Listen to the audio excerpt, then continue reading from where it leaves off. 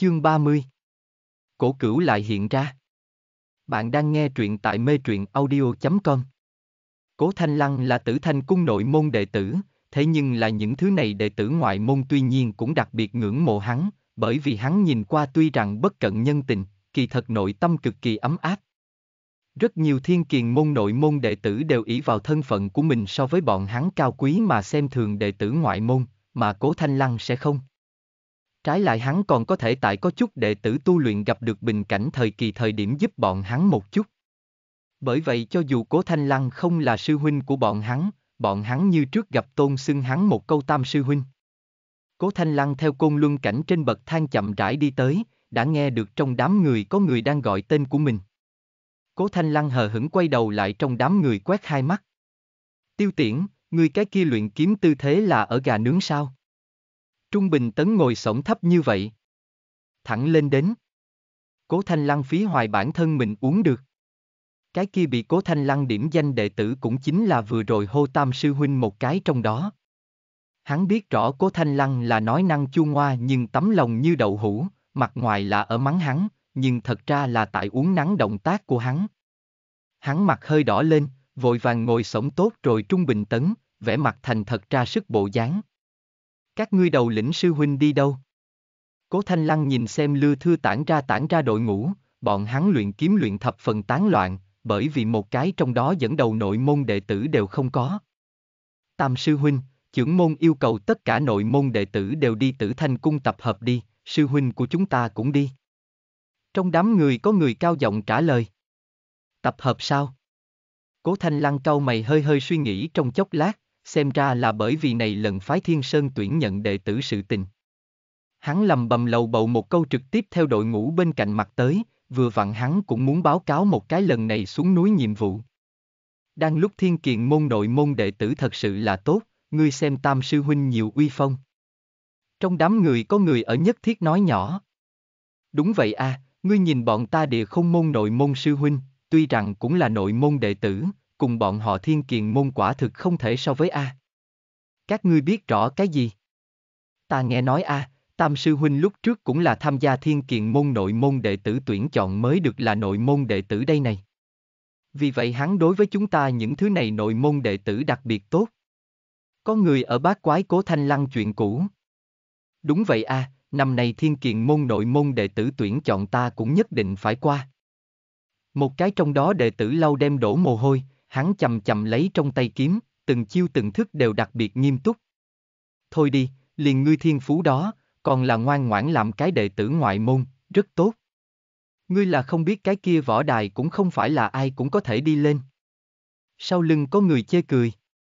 Đúng vậy à, muốn làm nội môn đệ tử, nói dễ vậy sao? Cố Thanh Lăng vào kim tiên, thính giác tự nhiên cũng so với thường nhân linh mẫn, hắn nghe những đệ tử kia xì xào bàn tán, nhớ tới cực kỳ lâu trước sự tình. Phái Thiên Sơn nội môn đệ tử, không phải là người nào đều có thể lên làm đấy. Ngươi chỉ có thực lực còn chưa đủ, còn phải có thiên phú. Phái Thiên Sơn nội môn đệ tử hạng cuối nhất định phải là hạ tiên, nhưng mà ngươi nếu như thiên phú kỳ giai, coi như là còn chưa phi thăng, bọn hắn cũng sẽ cho ngươi trở thành nội môn đệ tử. Muốn trở thành phái Thiên Sơn Thiên Kiền môn nội môn đệ tử chỉ có hai cái phương thức, đầu tiên là tại tham gia phái Thiên Sơn tuyển chọn đệ tử thời điểm tiếp nhận thí kim thạch khảo thí. Thế nhưng là trăm năm qua có thể thông qua thí kim thạch khảo thí người lác đác không có mấy, nhất là mấy năm gần đây mỗi lần có thể thông qua thí kim thạch người càng là có thể đếm được trên đầu ngón tay, vì vậy thậm chí đã không người nào nguyện ý tham gia thí kim thạch khảo nghiệm. Một mặt là hầu như không có khả năng, một mặt khác là sợ hãi biết được bản thân không có thiên phú mà buông tha cho. Mà cái gọi là nội môn đệ tử tuyển chọn, đầu là cho bọn hắn một tia hy vọng mong manh mà thôi. Nó cần tại năm tên hiện giữ thiên kiền môn nội môn đệ tử trong chọn lựa ra một gã, hơn nữa chính diện đánh bại hắn hoặc là đạt được hắn nhận thức, mới có thể trở thành nội môn đệ tử. Dư tử Thanh Ly khai phái Thiên Sơn thời điểm nội môn đệ tử là 70 hơn người, đến nay bất quá mới tăng thêm 10 người, có thể thấy được trở thành nội môn đệ tử là bực nào không dễ. Cố Thanh Lăng lúc trước cũng chỉ là một gã bình thường đệ tử ngoại môn, hắn chính là cái kia là số không nhiều trong 10 người một người. Những đệ tử này hiển nhiên vẫn không rõ, bọn hắn cho rằng chỉ cần mình đầy đủ nỗ lực, liền có thể trở thành cái kia cao cao tại thượng nội môn đệ tử, trở thành môn phái tinh anh. Thật tình không biết không có thiên phú, vô luận bọn hắn ngày sau cỡ nào nỗ lực, cũng chỉ là uổng phí, bọn hắn thậm chí vĩnh viễn đều khó có khả năng chạm đến đến kim tiên cấp độ. Có người nói qua, chỉ có đạt tới kim tiên mới tính tu tiên. Nếu như ngươi liền đạt tới kim tiên thiên phú đều không có, làm sao đau khổ muốn tu tiên đây? Phái Thiên Sơn trong hàng đệ tử thân là hạ tiên nhân số vô số kể, bọn hắn kiếm vỡ đầu đều muốn nâng cao một bước, chỉ là bọn hắn rất nhiều người này sinh cũng chỉ có thể dừng bước tại này, trở thành phái Thiên Sơn pháo hôi. Cố Thanh Lăng nhặt cấp mà lên, phái Thiên Sơn thềm đá tất cả đều là dùng trắng noãn như ngọc đá cẩm thạch xây thành, đã liền phái Thiên Sơn cung vũ cũng phần lớn là màu trắng kiến trúc. Vì vậy cái này côn luân cảnh lại bị mọi người xưng là thiên cung, bởi vì nó không nhiễm một hạt bụi trắng noãn như tuyết dường như đám mây thiên đường giống nhau. Ai, đây không phải cố sư đệ sao? Ngươi rõ ràng còn sống trở về Á. Hai cái đồng dạng ăn mặc trường bào màu trắng đệ tử cùng cố thanh lăng tại chỗ gốc cua đánh cho cái đối mặt. Người nọ khuôn mặt cực kỳ quen thuộc, bởi vì mười mấy năm trước chính là hắn tại dư tử thanh dưới thân kiếm lạnh run. Hắn giờ phút này sớm đã khôi phục nguyên lai cao ngạo bộ dáng, nhìn trước mắt cố thanh lăng. Mười đã qua vài năm, hắn như cũ là lưỡng lự tại kim tiên đỉnh phong, thủy chung không có thể đi vào huyền tiên cảnh giới. Mà tại sở hữu trưởng lão trong mắt, hắn cái này đại sư huynh thiên phú thậm chí tại cố thanh lăng phía dưới. Cái này cũng chính là cổ cửu vì sao xem cố thanh lăng là cái đinh trong mắt nguyên nhân. Mà cổ cửu bên người còn có một nhỏ gầy nam tử, hắn là cổ cửu chính là tay sai, thường xuyên vỗ ngựa của hắn cái rắm, cũng là thiên Kiện môn ở dưới thứ 17 đệ tử, Lý Thiên Một. Giờ phút này hắn trốn ở cổ cửu sau lưng, chó cậy gần nhà, gà cậy gần chuồng cũng tài nhãn nhìn chầm chầm vào cố thanh lăng. Đối với cổ cửu cái này chăm chọc khiêu khích ân cần thăm hỏi, cố thanh lăng cũng không thèm để ý.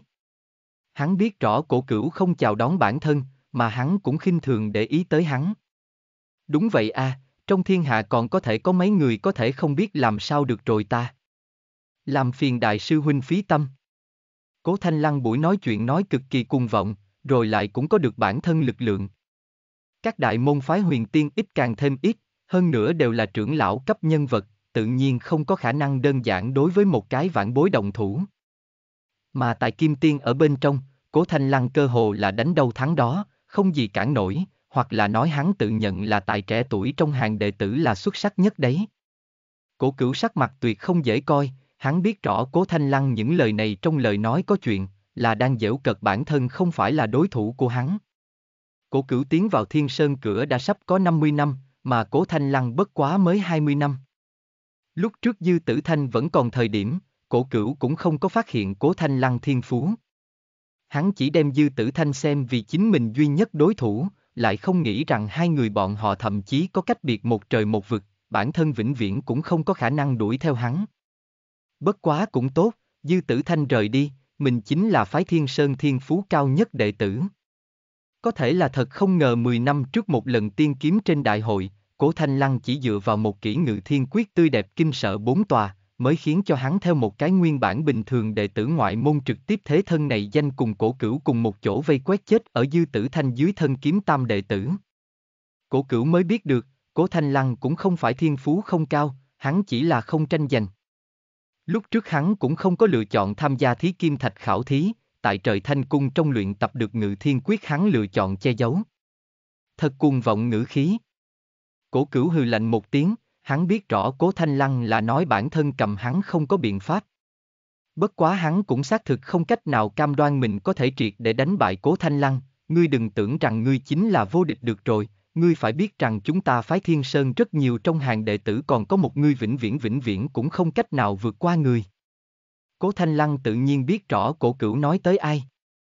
Kỳ thật Cố Thanh Lăng mình cũng là có tâm tư của mình, 12 năm trước hắn đã từng tham dự qua qua chặng đường dư tử thanh xuống núi trận chiến ấy. Hắn cũng là cái kia rất nhiều trong hàng đệ tử một cái, khi đó hắn từ phía trên thanh cung trong luyện tập được ngự thiên quyết, rồi lại lựa chọn trở thành một bình thường đệ tử. Bởi vì hắn không muốn vì cái gọi là nội môn đệ tử danh hiệu mà tiến vào cái kia lục đục với nhau trong đám người. Cái gọi là nội môn đệ tử, bất quá là vì ganh đua so sánh người nào thiên phú cao hơn, ai có thể thành vi sư tôn trong mắt kiêu ngạo, tốt hạt giống. Mặc kệ hắn lúc ban đầu thiết lập nguyên nhân là cái gì, hiện tại thiên kiền môn nội môn đệ tử dĩ nhiên biến thành một truyện cười. Hắn tình nguyện đang lúc một tiểu đệ con, mỗi ngày luyện một chút kiếm, cùng các sư huynh tâm sự. Thế nhưng là, hắn và hắn cùng một chỗ luyện kiếm những đệ tử kia, rồi lại chết thì chết, tổn thương tổn thương, mà cái kia trong đám người tay cầm độc cô kiếm, giống như chỗ không người dư tử thanh, hắn chính là kia trận giết chóc người khởi xướng. Bạn thích bộ truyện này? Yêu cầu làm truyện và ủng hộ ở mô tả video. Chương 31 Cố Thanh Lăng chuyện cũ Bạn đang nghe truyện tại mê truyện audio.com Cố Thanh Lăng mới lên sơn thời điểm là một vị hạ tiên, hắn trầm mặt ít nói, bất thiện ngôn từ, bị phân phối đến phái thiên sơn hậu trù. Hậu trù có chừng hơn 10 người đệ tử, cầm đầu chính là một cái thực lực cùng một dạng với hắn bàn sư huynh. Hắn nâng cao tròn trịa bụng tiếp Cố Thanh Lăng đã đến bọn hắn chỗ ở, sau đó cười đối với Cố Thanh Lăng nói về sau nơi đây chính là nhà của ngươi rồi. Lúc kia thiên kiền môn còn chỉ có dư tử thanh một gã đệ tử, còn lại tất cả đều là địa không môn nội môn đệ tử. Bọn hắn ngang ngược càng rỡ, không chút nào đem đệ tử ngoại môn để ở trong mắt. Cố Thanh Lăng cũng từng bị bọn hắn khi dễ qua, bàn đại sư huynh dù sao vẫn là an ủi mà đối với hắn nói, đám người kia chính là như vậy, coi trời bằng vung, không cần để ý bọn hắn, ăn nhiều một chút cơm. Sau đó cười ha hả mà thay hắn thêm vào thời gian dần qua một chén cơm. Cố Thanh Lăng cũng đã từng hỏi qua bàn đại sư huynh tên gì, hắn thẹn thùng cười cười, trên mặt thịt đều chồng chất lại với nhau, nói ngươi kêu ta bàn sư huynh thì tốt rồi. Cố Thanh Lăng đem nội môn đệ tử xem vì chính mình chán ghét nhất người, hắn dưới đáy lòng nói với về sau mình tuyệt đối không thể trở thành người như vậy. Hắn mỗi ngày luyện kiếm, rửa rau, nhặt rau, sau đó cùng bàn sư huynh đánh treo gẹo, thời gian trôi qua đặc biệt vui vẻ, thậm chí ngay cả tu hành đều nhanh quên mất. Cứ như vậy qua mấy năm, thẳng đến ngày đó, bàn đại sư huynh vội vội vàng vàng mà chạy đến bếp lò. Cố Thanh Lăng tay cầm quạt đang tại quạt lửa. Cố sư đệ, không tốt, dư sư huynh giết trưởng môn giờ phút này đang muốn xuống núi, các đệ tử đều đi ngăn trở hắn. Cố Thanh Lăng cùng dư tử thanh cùng xuất hiện cũng không nhiều, thế nhưng là tại bàn đại sư huynh kiên trì xuống, Cố Thanh Lăng hay là đi rồi. Bởi vì dư tử thanh cái tên này, đã từng là rất nhiều đệ tử trong suy nghĩ khâm phục đối tượng. Thiên kiền môn duy nhất đệ tử, trăm năm qua thiên phú cao nhất đệ tử. Tại nội môn đệ tử trong mắt, bọn hắn hoặc nhiều ghen tị, có lẽ căm hận hắn.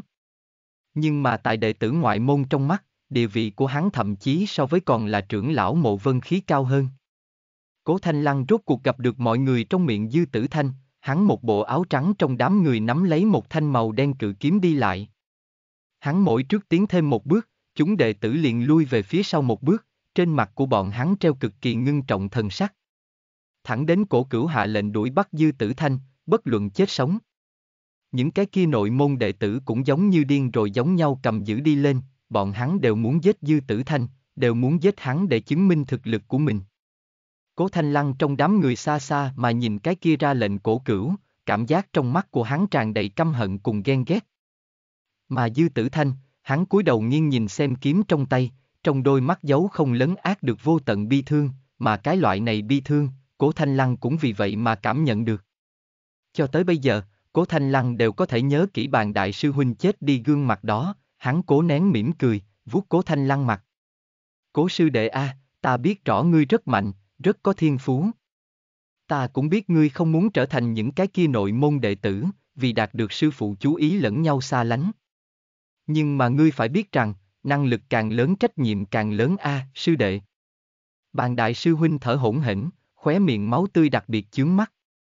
Ta không hận dư sư huynh, hắn chỉ là bị mê chặt tâm nhãn, nhưng mà sư đệ ngươi, người cùng chúng ta không giống nhau, ngươi nhất định là muốn trở thành cái thế giới này dẫn đạo giả. Vì vậy ngươi lại không thích cuộc sống như vậy, ngươi cũng muốn đứng ra đây, không vì mình, cũng phải vì thiên hạ này tất cả muôn dân trăm họ a. Nguyên lai hắn đã sớm đã nhìn ra, hắn đã sớm nhìn ra cái kia như thường ngày bất thiện ngôn từ, trầm mặc ít nói Nam Hài kỳ thật ẩn chứa tiềm lực vô cùng. Bàn đại sư huynh chết rồi, cái kia như thường ngày sau cùng chiếu cố cố thanh lăng bạn đại sư huynh chết rồi, hắn vốn không muốn tiến lên, lại bị cổ cửu một đoàn người đẩy lên tiến đến, bởi vì bọn họ là phái thiên sơn pháo hôi. Hắn chết lúc cứng nhắc mặt đến nay còn hiển hiện tại cố thanh lăng trước mắt, từng giây từng phút đang nhắc nhở lấy hắn. Nếu như hắn lúc kia đầy đủ mạnh mẽ, nếu như hắn có thể ngăn lại dư tử thanh, bàn đại sư huynh cũng sẽ không chết rồi. Cố Thanh Lăng mới nhận thức đến lúc đó dư tử thanh trong mắt toát ra bi thương. Cũng chính là theo lúc kia bắt đầu, Cố Thanh Lăng không hề che giấu, hắn đem ngự thiên quyết tu luyện đến cực hạn.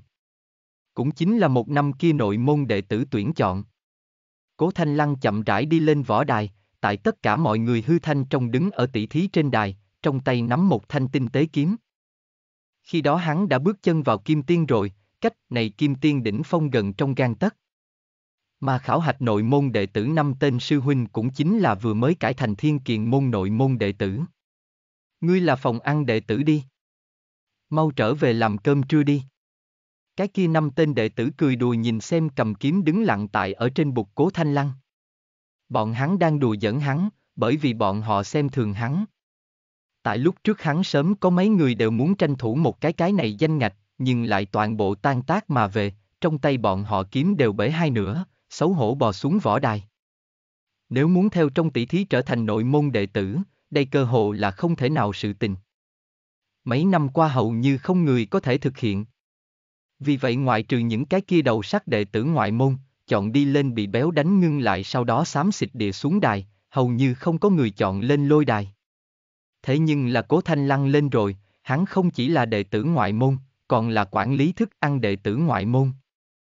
Một cái làm thức ăn đệ tử, có thể lợi hại đi nơi nào? Bọn hắn thậm chí cũng không có muốn đi dò xét ra một chút cố thanh lăng thực lực. Chỉ có cái kia ngồi ở phía xa mộ vân khí cùng tam đại trưởng lão, hơi hơi nhíu nhíu mày. Kim tiên thực lực phòng bếp đệ tử sao? Có ý tứ. Bởi vì còn trẻ như vậy có thể tu hành đến kim tiên, thiên phú mấy hộ đã đạt đến nội môn đệ tử trình độ. Các ngươi cùng lên đi. Cố Thanh Lăng nhìn mình trong tay kiếm, đó là một thanh vô cùng bình thường kiếm, nhưng lại ý nghĩa phi phàm. Bởi vì đó là bàn đại sư huynh bội kiếm. Câu kia lời vừa nói ra, nằm cái sư huynh sắc mặt cũng thay đổi, bọn hắn khả năng chưa bao giờ nghĩ tới vậy mà sẽ có như vậy càng rỡ đệ tử. Mà dưới đài rất nhiều đệ tử cũng xôn xao một mảnh, bọn hắn nhao nhao nghị luận trước mắt nam tử này có phải hay không đã uống nhầm thuốc. Từng cái tiếng lên khiêu chiến đệ tử hầu như đều chọn trong bọn họ thực lực yếu nhất một vị, mà hắn lại muốn khiêu chiến tất cả mọi người. Bọn hắn lẫn nhau đưa mắt liếc ra ý qua một cái phân tuôn ra mà lên, muốn muốn hảo hảo giáo huấn một lần cái này càng rỡ sư đệ. Có thể là bọn hắn lại lớn thất bại mà về, bọn hắn bị cố thanh lăng một người thất bại. Không có sử dụng lông ngâm kiếm bọn hắn tại cố thanh lăng trong tay căn bản không có bất luận cái gì ưu thế, ngược lại bị lòng của hắn bí quyết cho trọng thương. Ngự thiên quyết Mộ vân khí nhìn xem đứng ở vỏ giữa đài cái kia toàn thân lóe ra lôi quan đệ tử, nhẹ nhàng phun ra ba chữ kia. Cho dù là phái thiên sơn bảy cấp đại địa tâm pháp, cũng chia đẳng cấp. Lưu ảnh, vô tâm, vô niệm tam thiên tu tâm tâm pháp là hạ phẩm. Phi huyền, ngự kiếm, ngự thiên, côn luân, tứ đại tâm pháp thì là thượng phẩm. Từ sau đi phía trước càng ngày càng cao sâu khó lường, từ xưa đến nay có rất ít người có thể có được trong đó một quyển sách tu luyện. Cổ cửu tu luyện bất quá là hạ phẩm bên trong vô tâm, cho nên khi hắn nhìn đến cố thanh lăng sử dụng ra ngự thiên quyết thời điểm, trong mắt lửa giận đều nhanh phun ra đem trước mắt cố thanh lăng cho đốt thành tro bụi. Hắn là phái thiên sơn trong hàng đệ tử ngoại trừ dư tử thanh tu tập tâm quyết cao nhất một vị, mà cố thanh lăng triệt để đã vượt qua bản thân, còn không chỉ một từng điểm. Tam đại trưởng lão tu hành bất quá là lưu ảnh cùng côn luân, mộ vân khí tu luyện thì là thượng phẩm trong bài danh trước nhất phi huyền. Hiện tại lại xuất hiện tu luyện thành ngự thiên quyết được rồi, cái này tự nhiên làm cho hắn thập phần giật mình. Từng cái có thể tu luyện thành cái này bảy cửa tâm pháp khẩu quyết đều cho rằng của bọn hắn có đột phá đến Thái Hòa Tiên tiềm lực. Cố Thanh Lăng giành được nhập lại không thoải mái, hắn đánh bại năm vị sư huynh lúc sau đã gần như hư thoát, chân khí trong cơ thể cũng còn thừa không có mấy. Hắn được cố hết sức mà sử dụng kiếm chống đỡ thân thể của mình, mới có thể bảo chứng không để cho mình co quắp té trên mặt đất.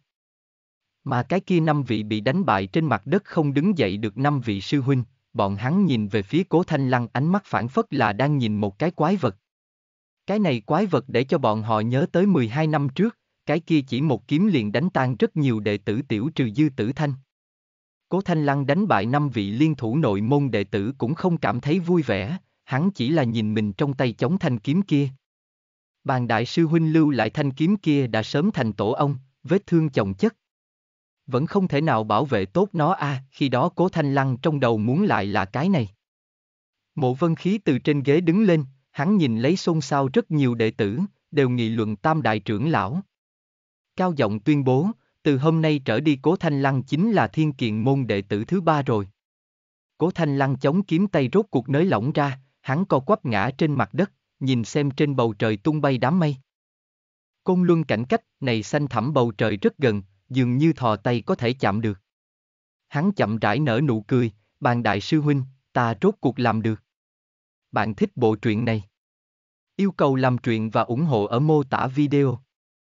Chương 32 Tam Đại trưởng Lão Bạn đang nghe truyện tại mê truyện audio.com Cố Thanh Lăng nhớ tới những cái kia năm xưa chuyện cũ, khóe mắt của hắn rõ ràng ẩm ướt. Hắn cũng ý thức được bản thân không bình thường, nhíu nhíu mày chậm rãi một cái tâm tình, thanh âm như trước băng lãnh, còn là không nhọc người phí tâm, ta vốn là vô tình ý đi tranh giành ai là thứ nhất, hoặc là sư tôn vui hơn muốn người nào. Hắn dừng một chút, tiếp tục dơ lên bản thân chân. Về phần ngươi nói chính là cái người kia, một ngày nào đó ta muốn đưa trong tay thanh kiếm này đâm vào lòng ngực của hắn, vì hắn năm đó làm cho tạo ở dưới vết chóc chuộc tội. Hắn nhìn nhìn trong tay long ngâm kiếm, hướng về phía tử thanh cung đại môn đi đến. Cổ cửu nhìn xem cố thanh lăng lưu cho bóng lưng của hắn hừ lạnh một tiếng, hắn đang cười nhạo cố thanh lăng không biết tự lượng sức mình. Chúng ta đi. Hắn vời đến một cái bên người đang tại sững sờ đệ tử, cũng hướng phía tử thanh cung đi đến. Giờ phút này tử thanh cung bên trong, phái thiên sơn 83 danh nội môn đệ tử đã hầu như đến đông đủ. Bọn hắn xếp thành bốn nhóm, căn cứ bản thân bài vị đứng chỉnh tề. Thiên kiền môn phía trước, địa không môn nội môn đệ tử ở phía sau. Mà tử thanh cung chính giữa ngồi đúng là mộ vân khí, bên người chuyển lệch ngồi trên chính là một cái cùng mộ vân khí không sai biệt lắm lớn cổ quái lão đầu, một cái thoạt nhìn ước chừng 40 tuổi trung niên nam tử cùng với một người mặc màu xanh lá cây quần áo, nhìn không ra tuổi nữ nhân. Thanh Lăng đã trở về. Mộ vân khí nhìn thấy cố Thanh Lăng theo ngoài cửa đi đến đứng ở thứ ba xếp phía trước nhất. Cổ cửu rất nhanh cũng đi đến. Bẩm báo sư tôn, sư tôn làm cho chuyện điều tra ta đã hiểu rõ qua. Huyền đệ tử của kiếm tông chiêu tân đã ở nửa tháng trước chấm dứt, bọn hắn lần này tổng cộng tuyển nhận 20 danh nội môn đệ tử, so với trước đó lần thứ nhất gia tăng lên gấp 3. Hơn nữa theo chiêu tân sau đó đến bây giờ nửa tháng ở trong, huyền kiếm tông đầu có đệ tử tiến không có bất kỳ đệ tử đi ra. Cố Thanh Lăng đem bản thân điều tra đến tình báo nói với hồi báo cho một lần. Mộ vân khí hiếp mắt dụng tâm nghe, thẳng đến Cố Thanh Lăng báo cáo hoàn tất, hắn mới khẽ gật đầu một cái. Các vị các trưởng lão thấy thế nào? Mộ vân khí nhìn thoáng qua bên người ngồi ba người. Ai, mộ trưởng môn người nói, chúng ta nhìn xem là được. Ý nghĩ của bọn hắn há là ba người chúng ta tháo lão gia có thể đoán được hay sao? Cái mới nhìn qua kia không đứng đắn lão đầu nhắm mắt lại chê cười. Hắn mà nói nghe vào rất cung kính, nhưng mà tại mộ vân khí trong tai lại có vẻ càng chói tai. Ba người bọn họ vẫn đối với bản thân đang lúc chính thức trưởng môn một chuyện cực kỳ phản cảm, liền cái kia tiểu lão đầu vừa mới cũng đem trưởng môn một chữ cắn đặc biệt rõ ràng, nghe xong chính là tại chế nhạo qua loa hắn. Ngươi nói ai là tháo lão gia? Ta thế nhưng là nữ. Trong ba người duy nhất chính là cái kia nữ trưởng lão chân mày lá liễu quét ngang, trừng mắt cái kia tiểu lão đầu cáu giận nói. Được được được, Doãn nhị mùi, liền ngươi cái kia tính khí còn biết mình là nữ nhân. Cái kia cái trung niên nam tử nhìn không được rồi, cũng bắt đầu trào phúng nữ trưởng lão. Nữ trưởng lão chính là phái thiên sơn nhị trưởng lão Duẩn Minh Nguyệt. Tiểu lão đầu chính là tam trưởng lão Nam Cung Quyền, mà cái kia cái trung niên nam tử thì là đại trưởng lão Ti Không Giật. Thực lực của bọn hắn kỳ thật không sai biệt nhiều, nhưng mà tuổi nhìn qua nhưng khác biệt rất nhiều. Nam Cung Quyền nhìn qua được có 60 tuổi. Duẩn Minh Nguyệt nhìn qua chỉ có 20 tuổi, nhưng mà trên thực tế ai cũng biết nàng tuyệt đối không chỉ 30 tuổi, trong thiên hạ có thể tại 20 tuổi liền vào tiên đạo chỉ có dư tử thanh một người mà thôi. Còn có A, Tam đệ nói cũng không phải không có lý, cái này trên đại điện là có ba cái tháo lão gia sao? Ha ha ha ha. Ti không giật cười vang nói, ánh mắt của hắn liếc hướng về phía một bên mộ vân khí. Mẹ kiếp, tư không tiểu nhi, nói tại đệ tử trước mặt không được kêu ta tam đệ, trước nhập môn ngươi rất giỏi đúng không? Gọi ta tam trưởng lão. Tam trưởng lão. Cái kia nam cung quyền mặt mo đỏ lên, nghiêm trang mà hướng về phía cái kia cái trung niên nam tử giải thích. Thế nào hay sao? Ngươi còn muốn tỉ thí một chút hay sao? Ti không giật vừa trừng mắt. So với liền so với, ta còn sợ ngươi sao? Nam cung quyền không cam lòng yếu thế. Tốt, ta đã sớm muốn xem các ngươi lưỡng đánh nhau, mau mau mau mau. Duẩn Minh Nguyệt không chút nào sợ phiền phức tình náo lớn, ở một bên châm ngòi thổi gió. Ba người bọn họ tại trên đại điện lẫn nhau trêu ghẹo lẫn nhau trào phúng lấy, tự hồ không có chút nào đem mộ vân khí người trưởng môn này để vào mắt. Phía dưới cung kính đứng đấy rất nhiều đệ tử cố nén đáy lòng vui vẻ, cẩn thận từng ly từng tí mà ngẩng đầu nhìn ba cái làm trò hề trưởng lão. Bất quá điều này cũng không có thể trách bọn họ, từ lúc mộ vân phi là trưởng môn thời điểm ba người bọn họ chính là như vậy già mà không đứng đắn bộ dáng. Chỉ là mộ vân phi so sánh hiền hòa, dù sao vẫn là cười mỉm mà nhìn bọn họ ba người cãi nhau. Mà lúc kia mộ vân khí là phó trưởng môn, sớm đã xem ba người bọn họ không vừa mắt, vì vậy hắn dù sao vẫn là cảm thấy ba người này là đang dễu cợt bản thân, xem thường bản thân. Chỉ là lấy bụng tiểu nhân đo lòng quân tử mà thôi. Giờ phút này mộ vân khí lạnh lùng nhìn bọn họ tam trưởng lão không coi ai ra gì mà trò chuyện, hắn cũng không có cách nào. Ba người bọn họ cũng đều là phóng nhãn thiên hạ này cao cấp nhất tồn tại. Cái kia thoạt nhìn hòa hòa khí khí đại trưởng lão ti không giật, kỳ thật cũng là một vị nửa bước thái hòa tiên, mà dưỡng Minh Nguyệt cùng Nam Cung Quyền thì là huyền tiên đỉnh phong, bốn người bọn họ cùng một chỗ đã trở thành phái thiên sơn cao cấp nhất thế lực. Tứ đại môn phái có tất cả hai vị nửa bước thái hòa tiên cùng huyền tiên tọa trấn, hơn nữa đều là trong thiên hạ cao cấp nhất tồn tại. Vì vậy đây cũng là mộ vân khí không cách nào xử trí ba người bọn họ nguyên nhân, hắn cũng không thể bởi vì chính mình trong lòng phẫn quốc liền đem ba người bọn họ đuổi xa ra phái thiên sơn. Thứ nhất hắn chỉ là quyền trưởng môn không có quyền lực như vậy, tam đại trưởng lão quyền lực cùng hắn có thể ước chế lẫn nhau, thứ hai hắn không dám, nếu tam đại trưởng lão đã đi ra, phái thiên sơn có thể sẽ lưu lạc thành một cái nhị lưu môn phái. Vì vậy giờ phút này hắn chỉ có thể ẩn nhẫn, ẩn nhẫn đến hắn có thể có được thiên thanh quyết, trở thành phái thiên sơn chính thức trưởng môn hơn nữa thành công đột phá đến Thái Hòa Tiên. Đến lúc đó cái này ba lão quái vật dù thế nào nhảy đáp cũng không có pháp ở trước mặt hắn ngại nhãn. Tốt rồi, tốt rồi. Ta đến nói hai câu đi. Mộ vân khí chậm rãi giãn ra bình trong lòng một cái nộ khí.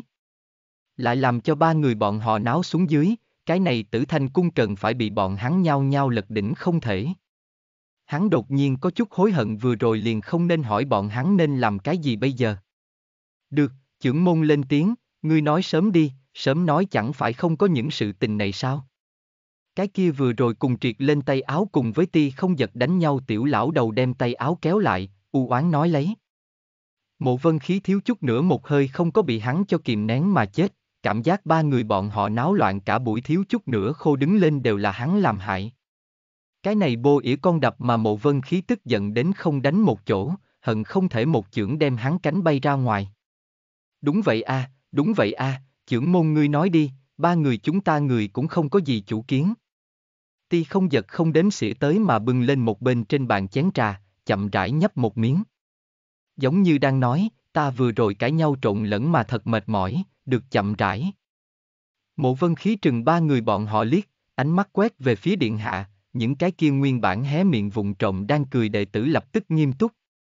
Bọn hắn soát mà đứng thẳng người, vẻ mặt nghiêm túc dường như vừa mới chuyện gì cũng không có phát sinh.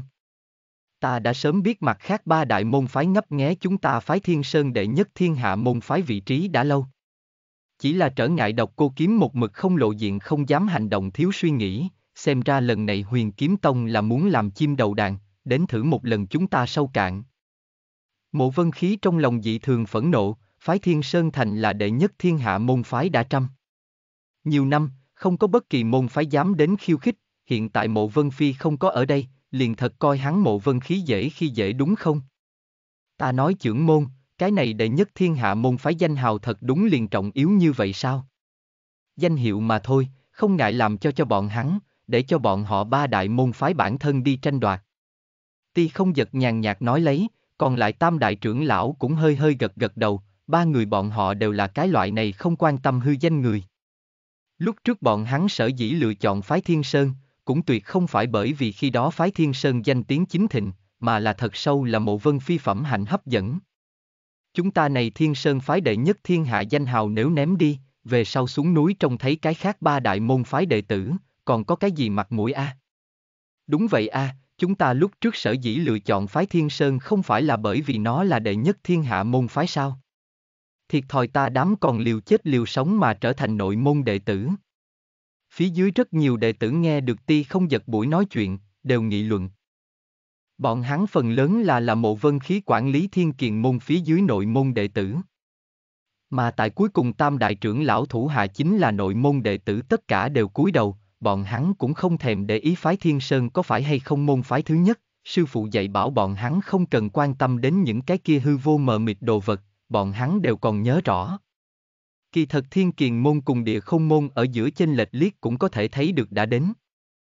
Mộ vân khí quá mức ở chỗ đệ tử thực lực, vì vậy bọn họ ở dưới đệ tử hầu như người người đều suy đoán bản thân tiểu tâm tư, bọn hắn mỗi người đều có mục đích riêng lẫn nhau xa lánh đều muốn ở trước mặt sư phụ hảo hảo biểu hiện. Ba cái người nhát gan. Cổ cửu khinh miệt mà mắng một câu, thanh âm của hắn tin tưởng so với cái kia huyên náo âm thanh muốn nhỏ hơn không ít, bởi vậy ba vị trưởng lão cũng không để ý. Đại sư huynh, ngươi nói chúng ta phái thiên sơn thanh danh muốn thật sự ném đi, chúng ta nên làm cái gì bây giờ a? À? Cổ cửu phía sau là lục sư đệ, hắn cũng là cổ cửu tâm phúc giờ phút này chính mặt mày ủ rũ. Ngươi yên tâm, sư phụ tuyệt đối sẽ không làm cho chuyện như vậy phát sinh, liền nó một cái nho nhỏ huyền kiếm tông, cũng muốn rung chuyển chúng ta phái thiên sơn, quả thực là người si nói mộng. Cổ cửu lạnh lùng cười cười. Các ngươi nói đây là cái gì khốn nạn lời nói. Mộ vân khí thanh âm trong nháy mắt sa sút đến không giờ, thanh âm của hắn linh liệt mà lại phẫn nộ. Đúng vậy, hắn giờ phút này đã tức giận, phái thiên sơn hơn một nghìn năm bề ngoài, trăm năm thanh danh, sao có thể thì cứ như vậy bị mất tại trong tay của hắn. Ta mộ vân khí mặc dù là quyền trưởng môn, cũng tuyệt không cho phép chuyện như vậy phát sinh. Hắn huyền kiếm tông nếu muốn đến tranh đoạt cái này để nhất thiên hạ danh hào, ta khiến cho hắn nở mày nở mặt mà tới đây, sau đó như chó nhà có tan giống nhau rời đi. Mộ vân khí dồn dập mà thở phì phò, trên người hắn chân khí đã bạo tán ra. Khiến cho trong đại điện đệ tử tất cả đều bị cái này cổ thái hòa tiên uy áp cho áp bách mà không thở nổi. Tam đại trưởng lão sắc mặt cũng là hơi đổi, nhưng là tu vi của bọn hắn so với các đệ tử cao hơn trên không ít, bởi vậy cũng không có gì áp lực. Sư phụ tức giận. Cái này là nửa bước thái hòa tiên thực lực sao? Cổ cửu sau lưng lục sư đệ dồn dập mà thở phì phò, hắn sắc mặt đã bắt đầu đỏ lên, cổng cũng uống lên thẳng không đứng dậy.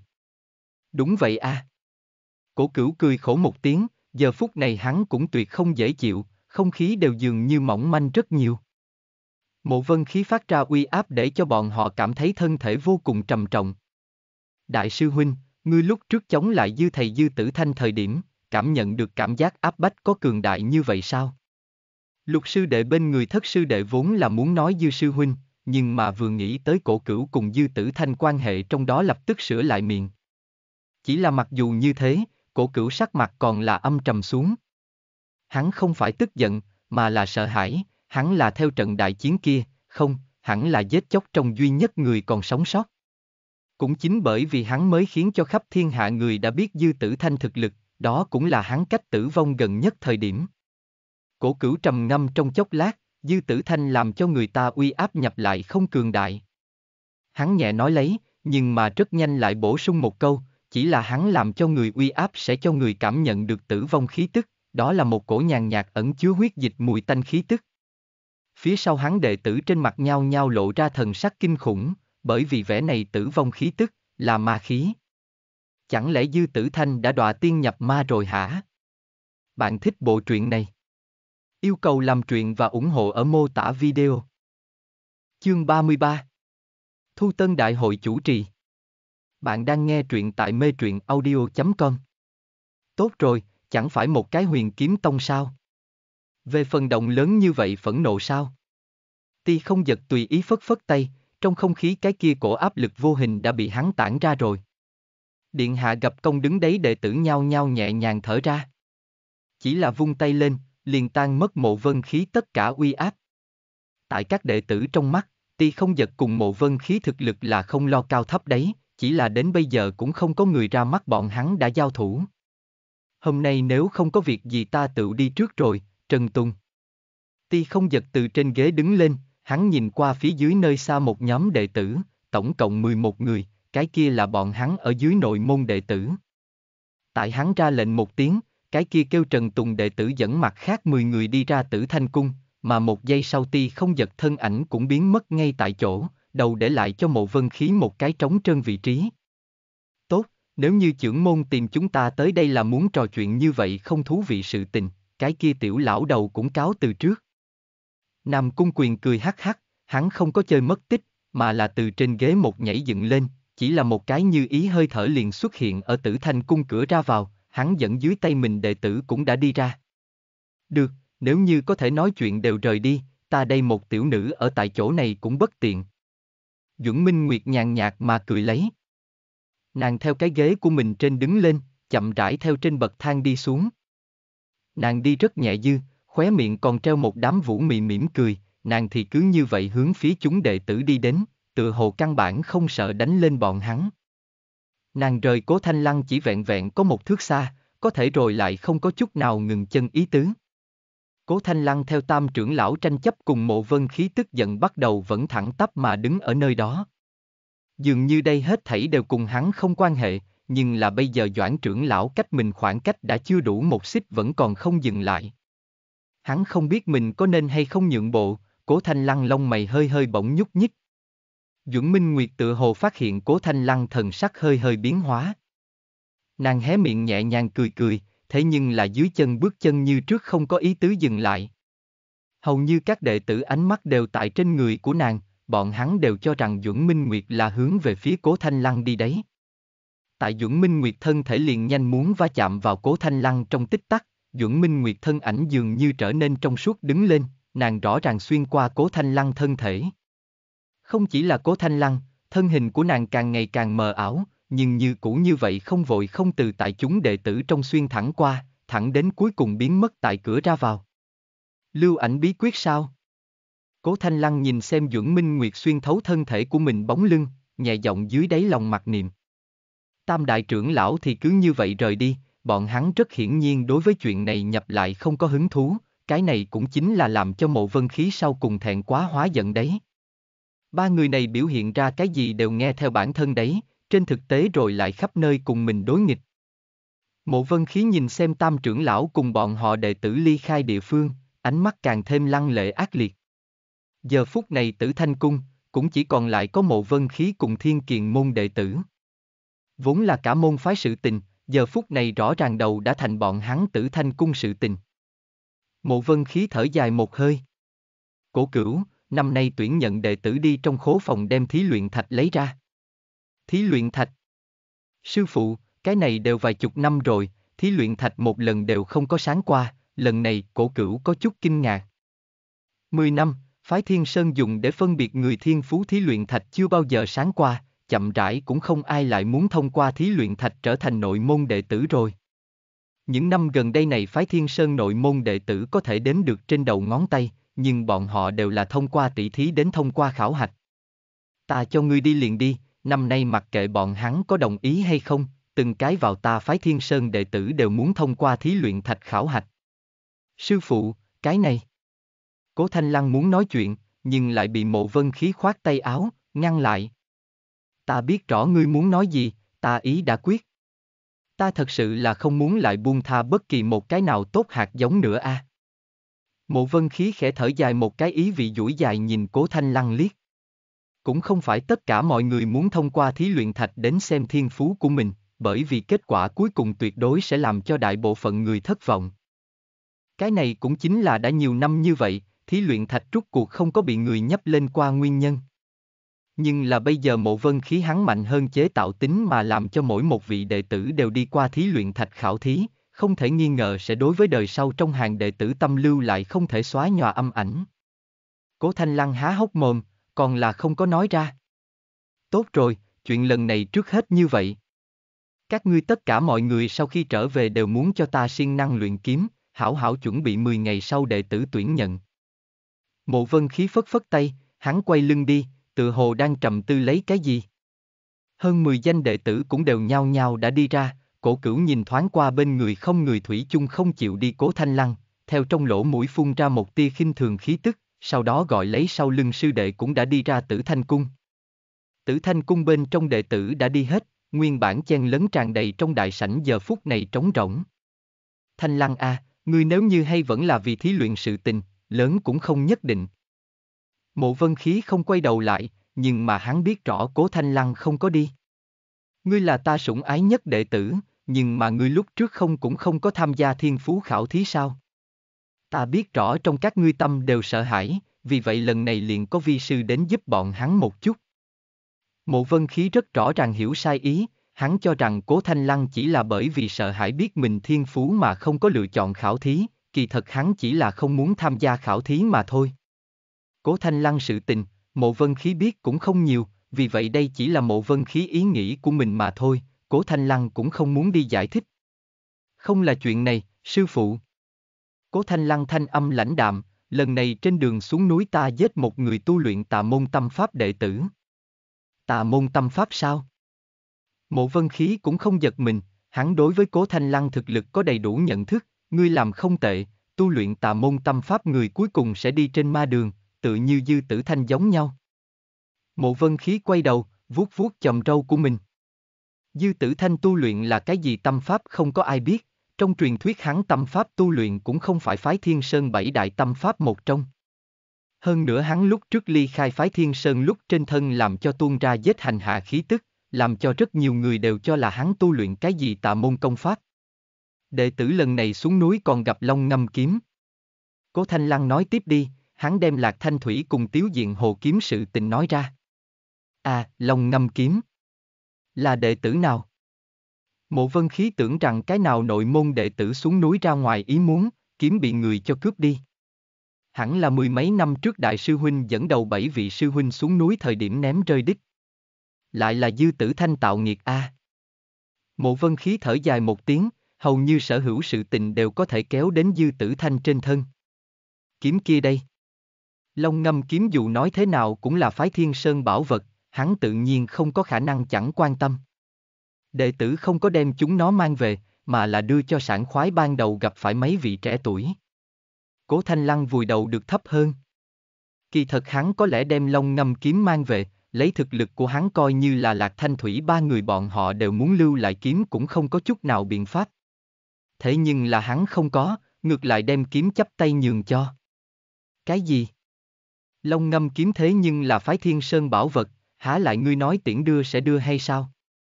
Phái thiên sơn khi nào đến phiên ngươi một cái tiểu bối để làm chủ?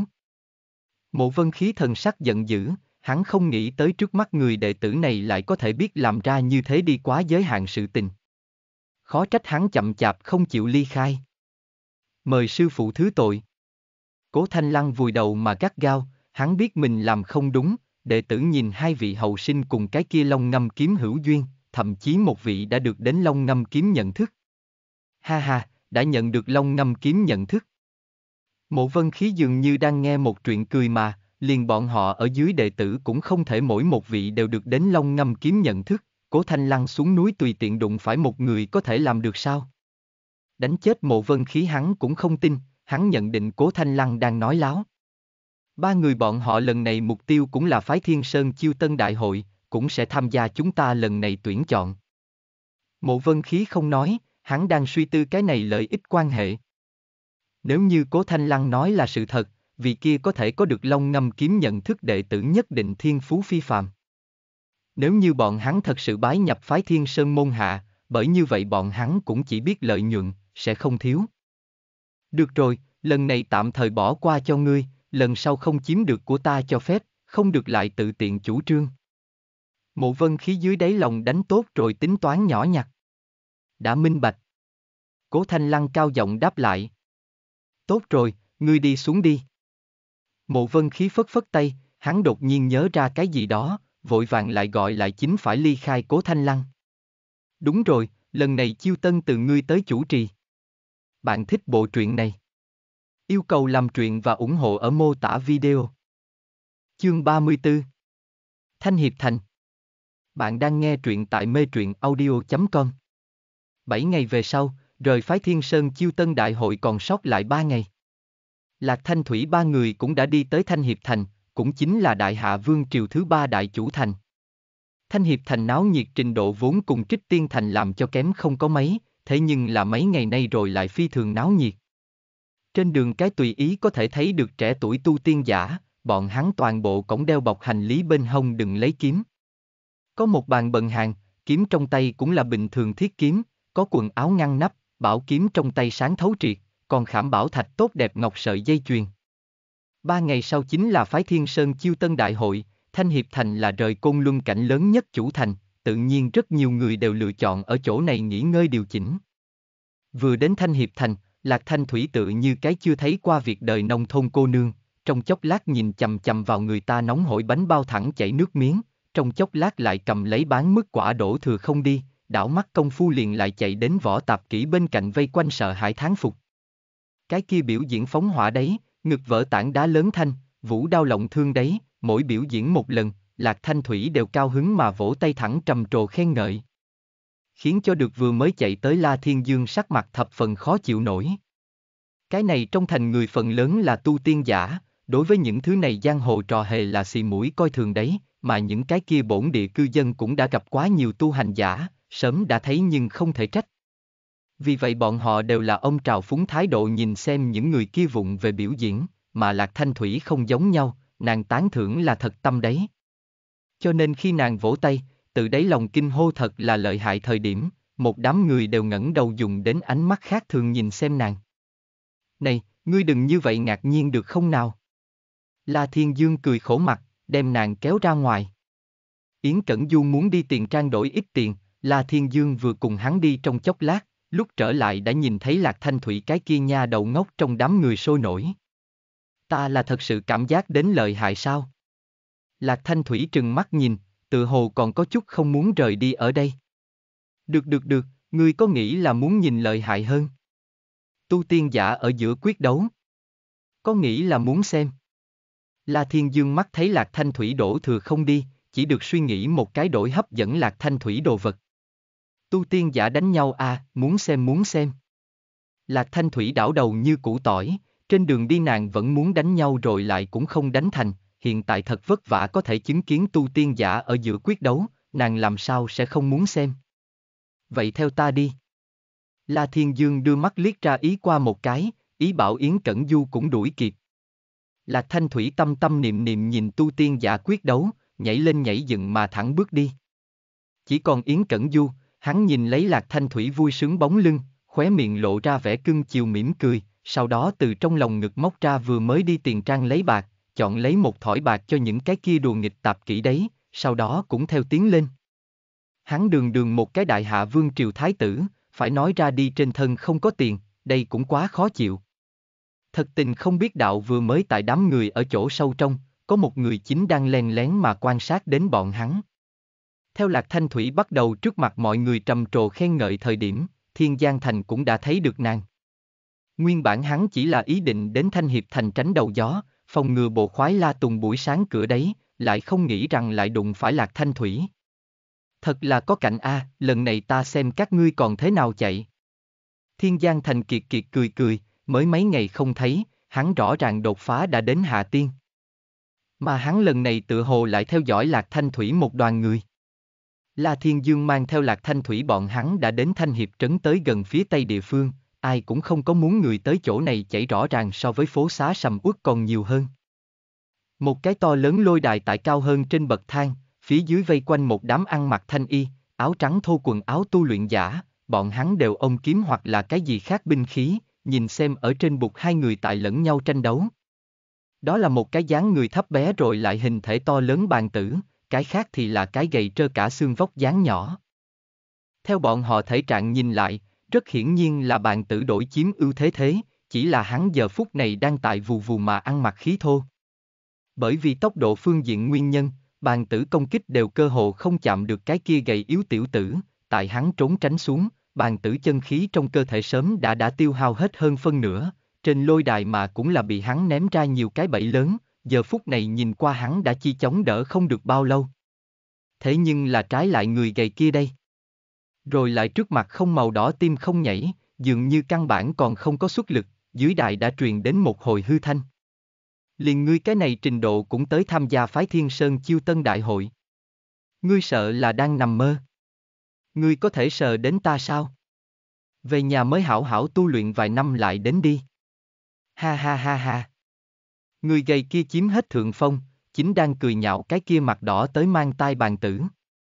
Bọn họ đều là cái gì thực lực a? À? Lạc Thanh Thủy xa xa mà nhìn cái kia ở trên bục hai người. Thực lực của hai người bọn họ cùng ta giống nhau, đều là hạ tiên. La Thiên Dương nhìn qua bàn tử cùng người gầy, nhàn nhạt nói. Hạ tiên.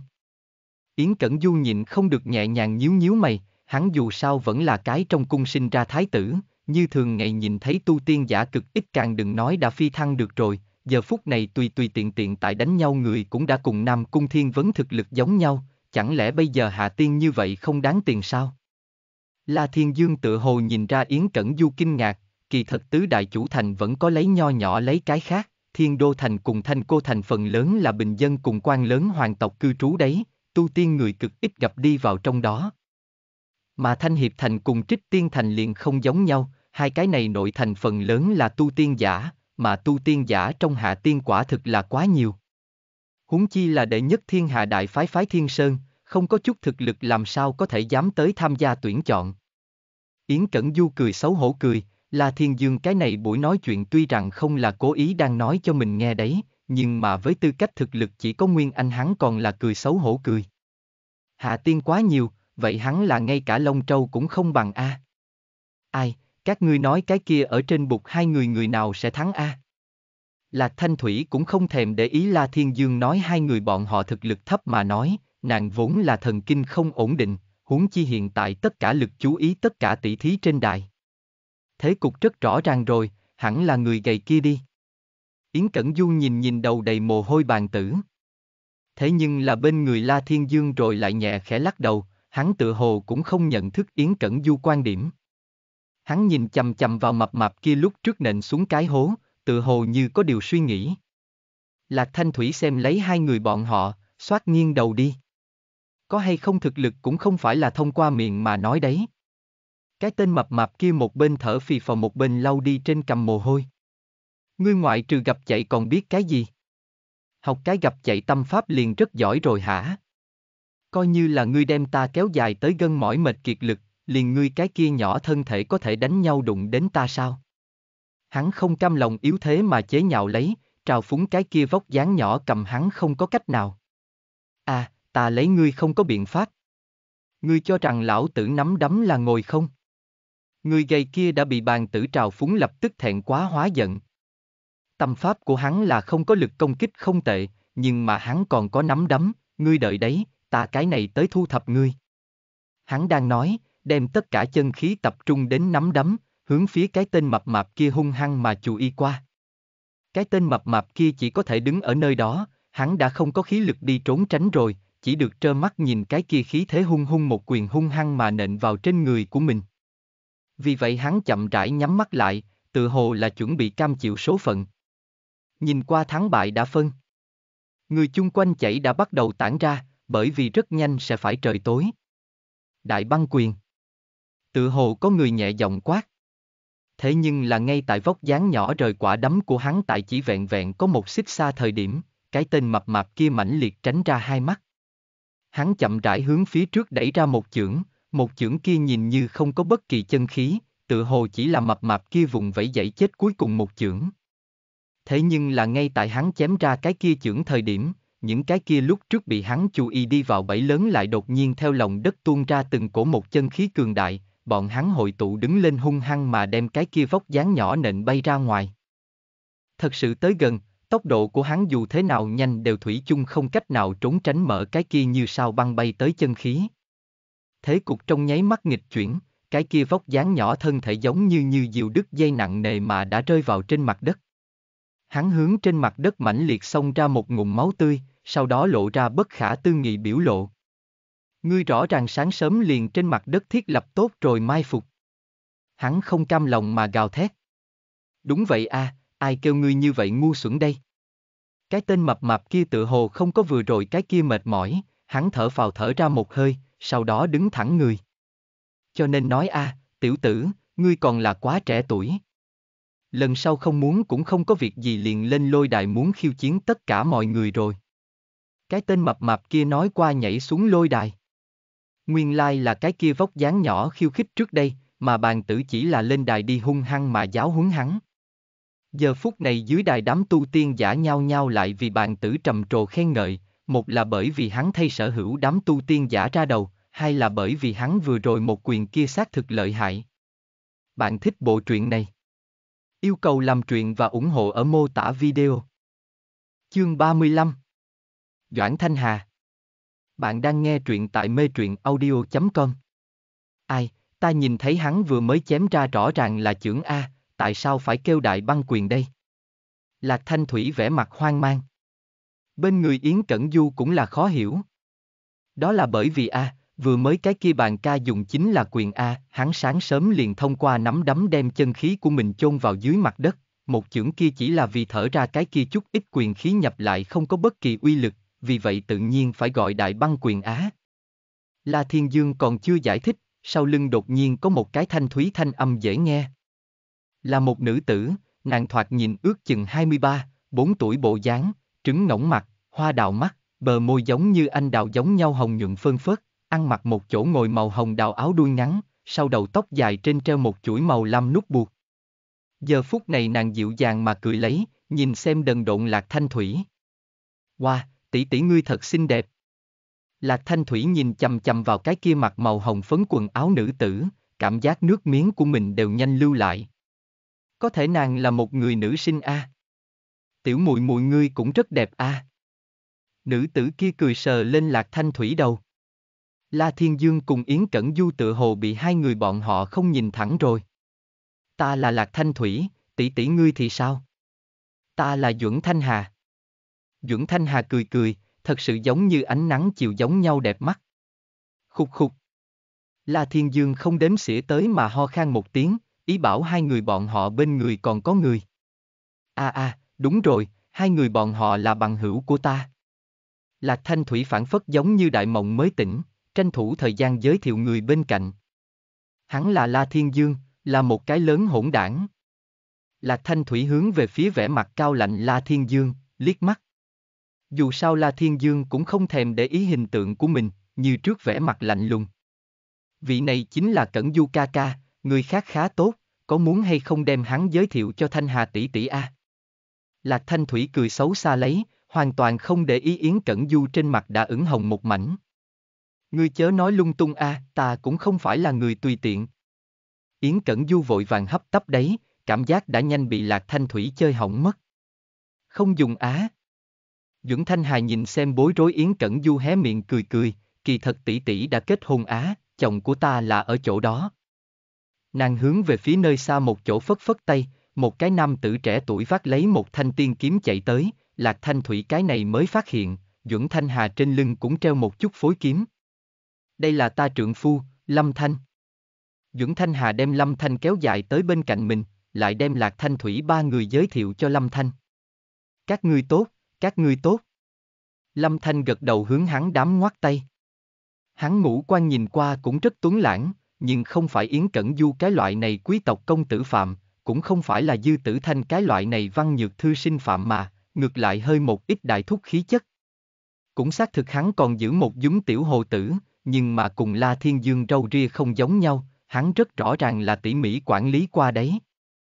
Ta xem chúng ta có duyên như vậy, muốn không cùng lúc ăn một bữa cơm đi. Lâm Thanh nói ra, hắn ăn mặc màu nâu quần áo, trên đai lưng treo một quả phỉ thúy, nhìn qua gia cảnh không sai. Tốt, tốt. Là Thanh Thủy tự nhiên là cầu còn không được, nàng đã sớm cùng Duẩn Thanh Hà gặp nhau hận muộn.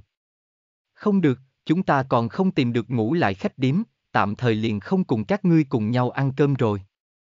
Một bên một mực nghiêm mặt La Thiên Dương đột nhiên mở miệng, hắn còn thò tay ngăn cản một bên nôn nóng Lạc Thanh Thủy. Như vậy a, cũng thế, cái này đêm hôm khuya khoắt tìm không thấy khách điếm cũng rất nguy hiểm, vậy các ngươi trước hết đi tìm khách điếm đi. Chúng ta hữu duyên tạm biệt. Lâm Thanh ngược lại cũng có thể lý giải, mấy ngày nữa chính là phái Thiên Sơn chiêu tân đại hội, giờ phút này Thanh Hiệp Thành sớm đã kín người hết chỗ, sẽ không tranh thủ thời gian tìm khách điếm chỉ sợ bọn họ cũng chỉ có thể ngủ ngoài trời đầu đường rồi. Hữu duyên gặp lại. La Thiên Dương báo cái quyền, cùng Lâm Thanh cáo biệt, lôi kéo cẩn thận mỗi bước đi lạc Thanh Thủy liền đi. Thanh Thủy mùi mùi chúng ta hữu duyên gặp lại a. À. Duẩn Thanh Hà nhìn xem vẻ mặt tràn đầy u oán lạc Thanh Thủy che miệng cười. Đợi cho ba người bọn họ vừa vừa rời đi, Duẩn Thanh Hà mặt trong nháy mắt sụ xuống, nàng nhìn về phía bên người lạnh run Lâm Thanh. Tốt, ngươi nói đi trên nhà xí, như thế nào lên nửa canh giờ mới vừa về. Ngươi thành thật khai báo có phải hay không đi ra ngoài tìm nữ nhân khác. Duẩn Thanh Hà sải bước sông lên liền vặn chặt Lâm Thanh lỗ tai. Đau hắn nghe răng trợn mắt đấy, nếu như Lạc Thanh Thủy giờ phút này ở chỗ này nhất định sẽ phát hiện vừa rồi cái kia ôn nhu đại tỷ tỷ không thấy, đầu lưu lại một táo bạo bà tám. Đau nhức đau nhức đau nhức đau nhức, nương tử điểm nhẹ, ta đây không phải tìm không thấy nhà xí, tiến vào nhà xí lại không có giấy sao. Vì vậy này vừa đến vừa đi cũng liền thời gian dài điểm. Lâm Thanh nguyên bản nhìn qua đặc biệt ổn trọng cùng thành thục, thế nhưng là giờ phút này tại Duẩn Thanh Hà chính là thủ hạ, giống như một cái dê đợi làm thịt. Ngươi xem nương tử ngươi như vậy xinh đẹp như hoa, ta làm sao sẽ đi ra ngoài tìm những nữ nhân khác làm loạn đây? Đây không phải mắt bị mù sao? Lâm Thanh mắt thấy Duẩn Thanh Hà trong tay khí lực càng ngày càng nhỏ rồi, càng thêm ra sức mà vuốt mông ngựa. Dưỡng Thanh Hà hứ một cái, buông lỏng ra bóp Lâm Thanh tay, ngươi nếu để cho lão nương biết rõ ngươi ở bên ngoài thông đồng những nữ nhân khác, ngươi nhất định phải chết. Chúng ta quay về khách điếm.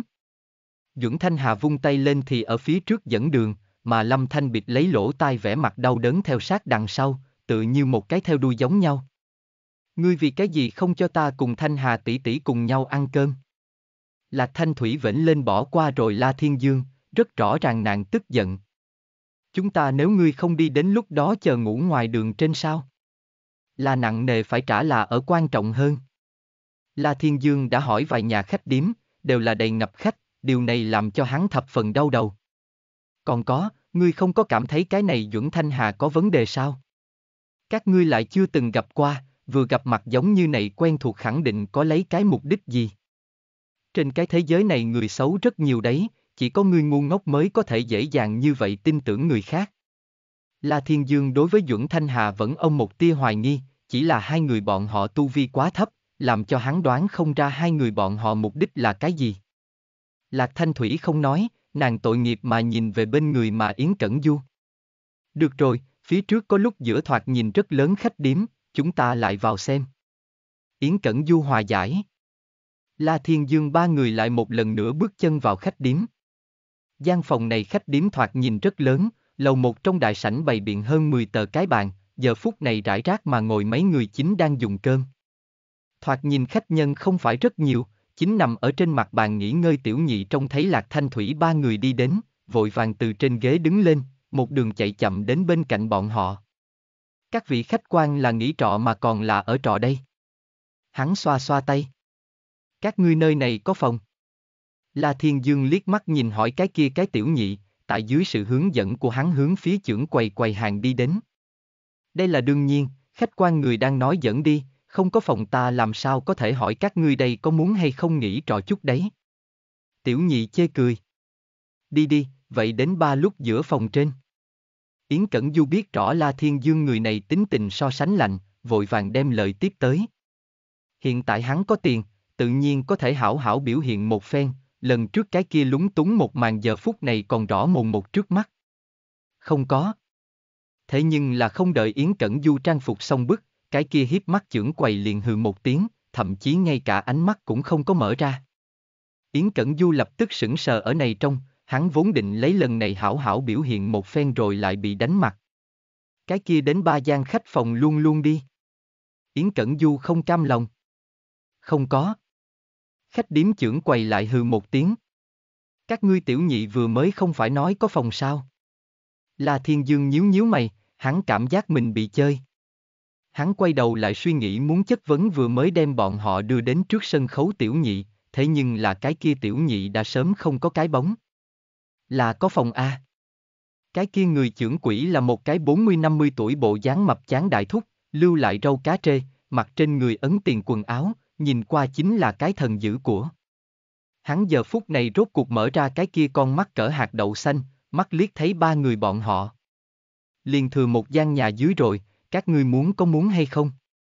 Hắn lấy ra một quả chìa khóa xoát vỗ vào trên quầy. Hai mươi lượng. Cái gì? La Thiên Dương cảm thấy vừa bực mình vừa buồn cười. Một gian nhà dưới ngươi muốn hai mươi lượng. Ngươi tại sao không đi đoạt? Lạc Thanh Thủy nhìn nhìn Yến Cẩn Du, hai người bọn họ hai mặt nhìn nhau. Lạc Thanh Thủy không biết tiền có bao nhiêu đáng giá, nàng mơ hồ cảm nhận được 20 lượng hẳn là cái con số không nhỏ rồi, bằng không thì La Thiên Dương phản ứng cũng không sẽ lớn như vậy. Mà Yến Cẩn Du, 20 lượng trong mắt hắn đúng là chín trâu mất sợi lông, nhưng mà 20 lượng mua một gian nhà dưới quả thật có chút thua lỗ. Chúng ta đi, đi phía trước nhìn lại một chút. La Thiên Dương hừ lạnh một tiếng, rất hiển nhiên hắn không muốn bị cái này người trưởng quỷ làm thịt. À! Cái kia mập chán bàn tử xem lấy ba người bọn họ quay người muốn đi, hừ lạnh một tiếng, ta không có đoán sai các ngươi là theo phía tây lôi đại tới đây đi. Ta không ngại nói thiệt cho các ngươi biết đi, cái này toàn bộ phía tây, thậm chí cái này toàn bộ thanh hiệp thành ngoại trừ ta chỗ này cũng sẽ không có khác phòng trống rồi. Hắn lời này nói quả thực khoa trương, cái này to lớn thanh hiệp thành dù nói thế nào cũng không có khả năng toàn bộ đầy ngập khách đi. Thế nhưng là chính là chỗ này câu nói đem Yến Cẩn Du cùng Lạc Thanh Thủy dọa sợ, bọn hắn lo lắng đợi lát nữa đi ra ngoài trượt một vòng mấy lúc sau trở lại liền căn phòng này tất cả đều không còn rồi. Nếu không, liền mua đi. Dù sao hai mươi lượng bạc cũng không có nhiều tiền. Yến Cẩn Du lại xoay người lại, nhìn xem trên bàn cái thanh kia đồng cầm cố chìa khóa, hỏi bên người La Thiên Dương. Kỳ thật La Thiên Dương trong nội tâm cũng không có gì đấy, dù sao phái Thiên Sơn thu đệ tử một chuyện thật sự quá gây chú ý ánh mắt của người ngoài rồi, cái này thanh hiệp thành giờ phút này dòng người số lượng đã không phải là hắn có thể tưởng tượng được rồi. Vạn nhất thật sự cùng lão bản nói giống nhau, bên ngoài đã không có phòng trống, vậy bọn họ hôm nay liền thật sự được ngủ ngoài trời đầu đường rồi. Thế nhưng là một gian phòng, ba người chúng ta người. La Thiên Dương sắc mặt có chút khó xử, hắn nhìn nhìn bên người Lạc Thanh Thủy, dù sao nam nữ còn là thụ thụ bất thân. Hai người bọn họ đại nam nhân cùng một cái tiểu nữ hài nhi chen lấn tại trong một gian phòng, thật sự có chút không dễ coi. Lạc Thanh Thủy nháy hai cái ánh mắt, tùy tiện nàng tự nhiên không cảm thấy có cái gì không ổn, dù sao nơi đây nhiều người như vậy đây. Vậy hãy để cho nàng cùng ta ở chứ sao? Cửa của khách sạn đột nhiên truyền đến quen thuộc giọng nữ. Bạn thích bộ truyện này? Yêu cầu làm truyện và ủng hộ ở mô tả video. Chương 36 Thiên Sơn phái khảo thí đề mục. Bạn đang nghe truyện tại mê truyện audio.com. Lạc Thanh Thủy thoáng cái liền đã hiểu, thanh âm kia các nàng vừa mới tách ra. Thanh Hà tỷ tỷ. Lạc Thanh Thủy nói qua liền nhảy cà từng đi qua. Thật đúng là Lâm Thanh cùng Dưỡng Thanh Hà, đúng lúc các nàng hai người cũng ở chỗ này. Ai, Thanh Thủy muội muội, chúng ta xem ra thật đúng là có cạnh a.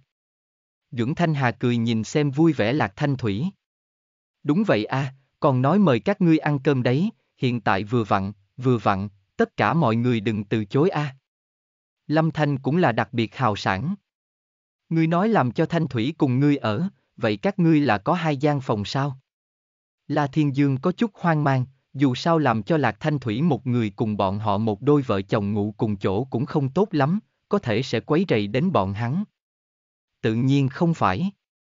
Dưỡng Thanh Hà vẫy vẫy tay, chúng ta chỉ có một gian, ý của ta là làm cho Thanh Thủy cùng ta cùng một chỗ ngủ, chồng của ta cùng các ngươi cùng một chỗ. Lâm Thanh sắc mặt trong nháy mắt sẽ không tốt. Hà Nhi, ngươi sao có thể? Lâm Thanh tội nghiệp mà nhìn dưỡng Thanh Hà, là thiên dương bọn hắn hiển nhiên thật không ngờ lớn như vậy nam tử hán rõ ràng còn gặp sợ vợ, toàn bộ xấu hổ. Dưỡng Duẩn Thanh Hà không lưu tình một chút nào trước mặt, hung hăng mà trừng mắt liếc hắn một cái. Lâm Thanh bị nàng mắng một câu, rất nhanh liền không nói. Len lén nhìn xem La Thiên Dương cùng Yến Cẩn Du, ba người bọn họ đêm nay được ngủ ở cùng một chỗ, ba người bọn họ hai mặt nhìn nhau, tình cảnh hết sức khó xử. La Thiên Dương trầm ngâm một chút, tự hồ còn giống như không bằng vừa rồi. Tốt ai, ta có thể cùng Thanh Hà tỷ tỷ cùng một chỗ ngủ. Lạc Thanh Thủy ngược lại là cao hứng hoa chân múa tay vui sướng. Sắc trời bên ngoài đã tối hẳn, khách điếm đại sảnh ngoại trừ Lạc Thanh Thủy một bàn bên ngoài đã không có người. Cái kia chạy đường tiểu nhị ngồi dựa ở một bên bàn chân đã sắp ngủ rồi. Chỉ có mấy chụp đèn lồng còn tản ra hơi yếu hào quang. Quát quát. Lâm Thanh thay là Thiên Dương cùng Yến Cẩn Du lần nữa đem ly đầy vào, hắn tự như Duẩn Thanh Hà cùng Lạc Thanh Thủy gặp phải giống nhau gặp nhau hận muộn, thế nhưng là La Thiên Dương cùng Yến Cẩn Du bọn hắn cùng Lạc Thanh Thủy bất đồng, bọn hắn không ngốc cũng không điên, vì vậy La Thiên Dương chỉ là nhàn nhạt gật đầu, mà Yến Cẩn Du lễ phép nói tạ. Điều này làm cho Lâm Thanh cảm giác mình nóng mặt dán tại lạnh trên mông điếc. Thanh Hà tỷ tỷ, các ngươi lần này là đến du lịch sao? Dưỡng Thanh Hà nghe thấy Lạc Thanh Thủy vấn đề im ắng cười cười, giờ phút này tại nơi này Thanh Hiệp nội thành hầu như tất cả tu tiên giả đều ông mục đích giống nhau, cũng chỉ có Lạc Thanh Thủy gặp cho rằng bọn họ là tới đùa. La Thiên Dương liếc mắt nhìn trong tay bọn họ bội kiếm, dưỡng Thanh Hà cùng Lâm Thanh kiếm, bội kiếm của bọn hắn một chút là màu xanh đấy, một chút là màu tím đấy, thoạt nhìn tốt như là một đôi tình lữ kiếm. Hắn giờ phút này còn là ông một tia cảnh giác, đang không có biết rõ hai người bọn họ mục đích lúc trước tuyệt đối sẽ không buông lỏng chút nào. Mục đích của chúng ta a, cùng các ngươi là giống nhau. dưỡng Thanh Hà hé miệng cười, ta cùng nhà ta vị này a cũng là tu tiên giả, vừa kết hôn vài năm, suy nghĩ lấy đi phái Thiên Sơn nhìn xem, nói không chừng còn có thể lên làm phái Thiên Sơn đệ tử đây.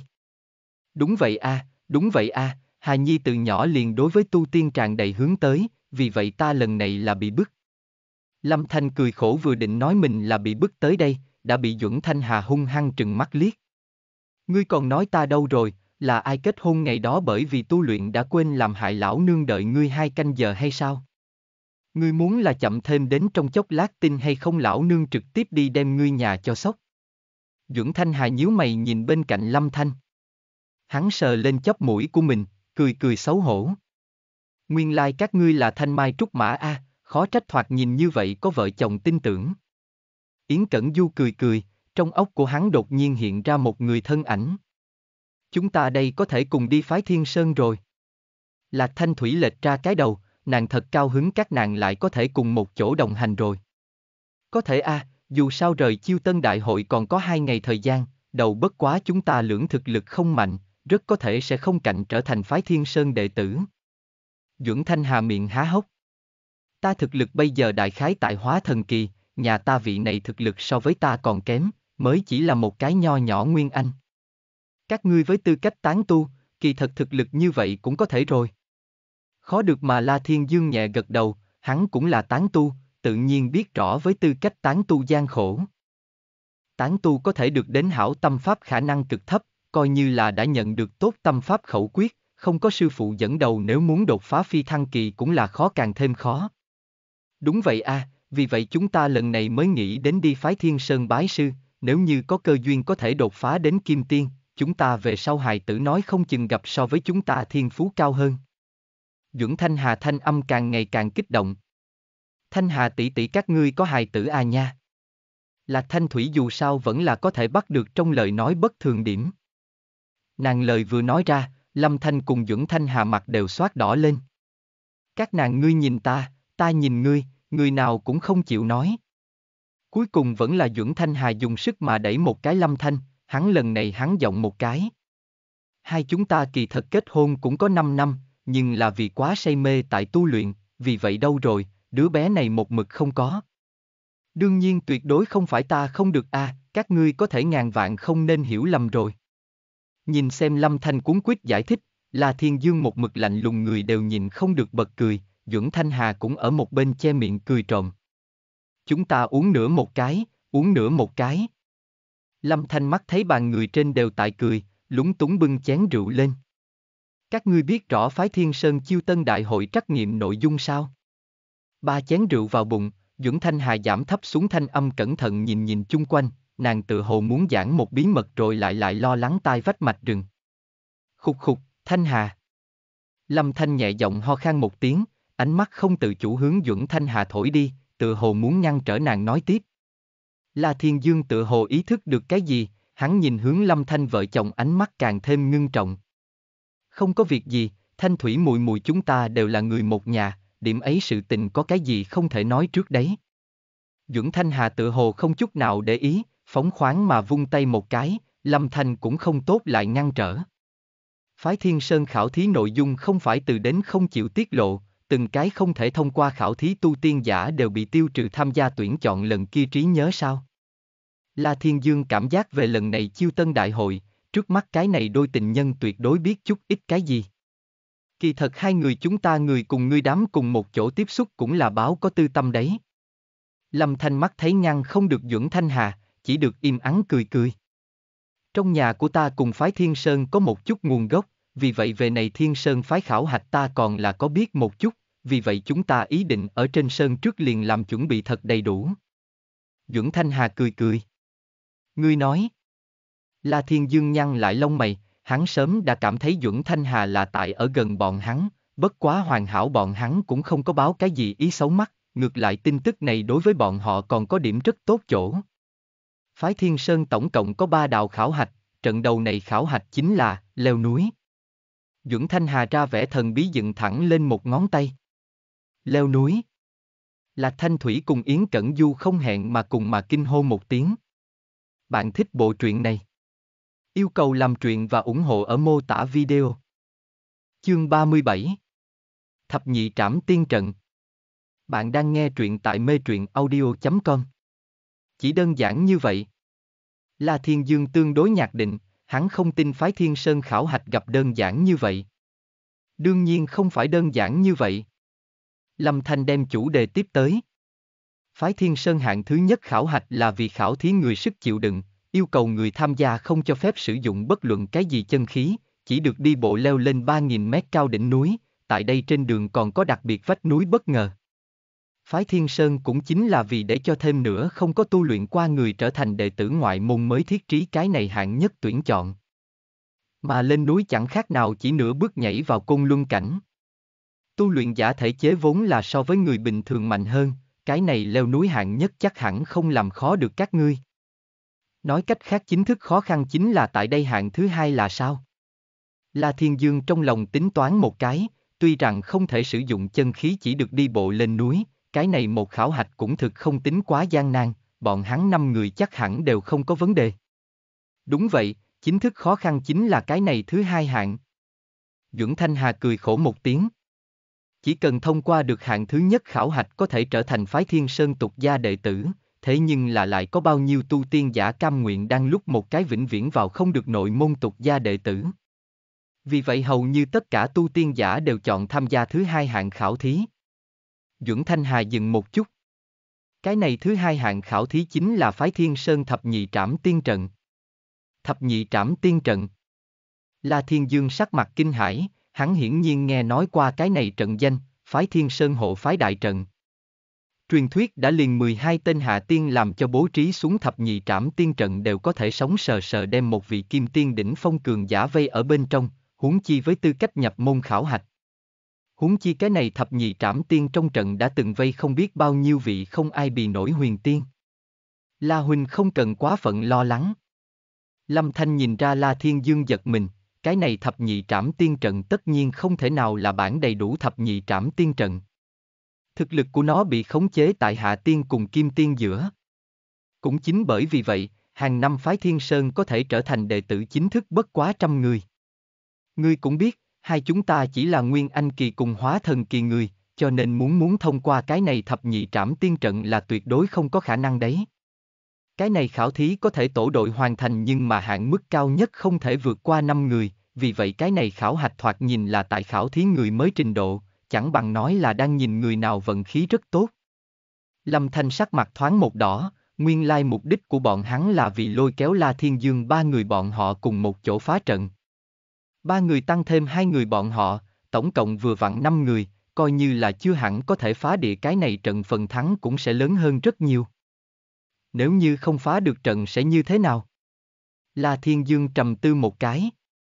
Nếu như không phá được trận, cái kia liền tục gia đệ tử cũng không có pháp đang lúc, chỉ được bị rửa sạch trí nhớ đưa về dưới núi. Lâm Thanh do dự trong chốc lát, hắn lo lắng đem La Thiên Dương bọn hắn hù đến không cùng bọn hắn xong cái kia thập nhị trảm tiên trận. Thì ra là thế, khó trách muốn đem tham gia thí luyện người trí nhớ toàn bộ xóa đi sao. La Thiên Dương như có điều suy nghĩ gật đầu. Phái Thiên Sơn là sợ hãi có người mượn cơ hội đem thập nhị trảm tiên trận nhớ kỹ tại trong lòng, sau đó trở về phá giải nó. Như vậy côn luân cảnh biên phòng cũng liền không có bất kỳ ý nghĩa. Lâm Thanh cùng Duẩn Thanh Hà có chút lo lắng nhìn xem La Thiên Dương cùng Lạc Thanh Thủy, không biết bọn hắn có thể hay không đồng ý. Lạc Thanh Thủy tự nhiên là không sao cả, chỉ là nàng biết mình thực lực thật sự quá thấp, cho nên vẫn là phải xem La Thiên Dương đấy, vì vậy nàng trông mong mà nhìn chầm chầm vào vẻ mặt trầm tư La Thiên Dương, hận không thể giúp hắn làm quyết định. Khả năng các ngươi tìm lộn người, các ngươi cũng nhìn ra, bên cạnh ta vị này Yến công tử chỉ có Nguyên Anh kỳ thực lực. La Thiên Dương suy nghĩ một chút. Yến Cẩn Du biết mình tu vi không cao, là cản trở người, sắc mặt hơi có chút phím hồng, sau đó cúi đầu không nói thêm gì nữa. Lâm Thanh cùng Dưỡng Thanh Hà tự nhiên nhìn ra được Yến Cẩn Du thực lực, nhưng mà La Thiên Dương cùng Lạc Thanh Thủy các nàng hoàn toàn nhìn không ra, cho nên bọn họ nhận định hai người thực lực tuyệt đối không thấp. Ta cũng chỉ là một cái nho nhỏ hạ tiên, đối với cái này thập nhị trảm tiên trận thực tại không có bao nhiêu nắm chắc.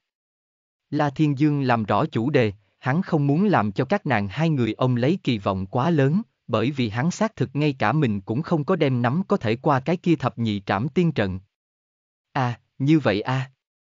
Lâm Thanh hiển nhiên có chút thất vọng, Duẩn Thanh Hà tự hộ rất không hài lòng thái độ của hắn, nhiều lần hướng hắn thẳng cau mày.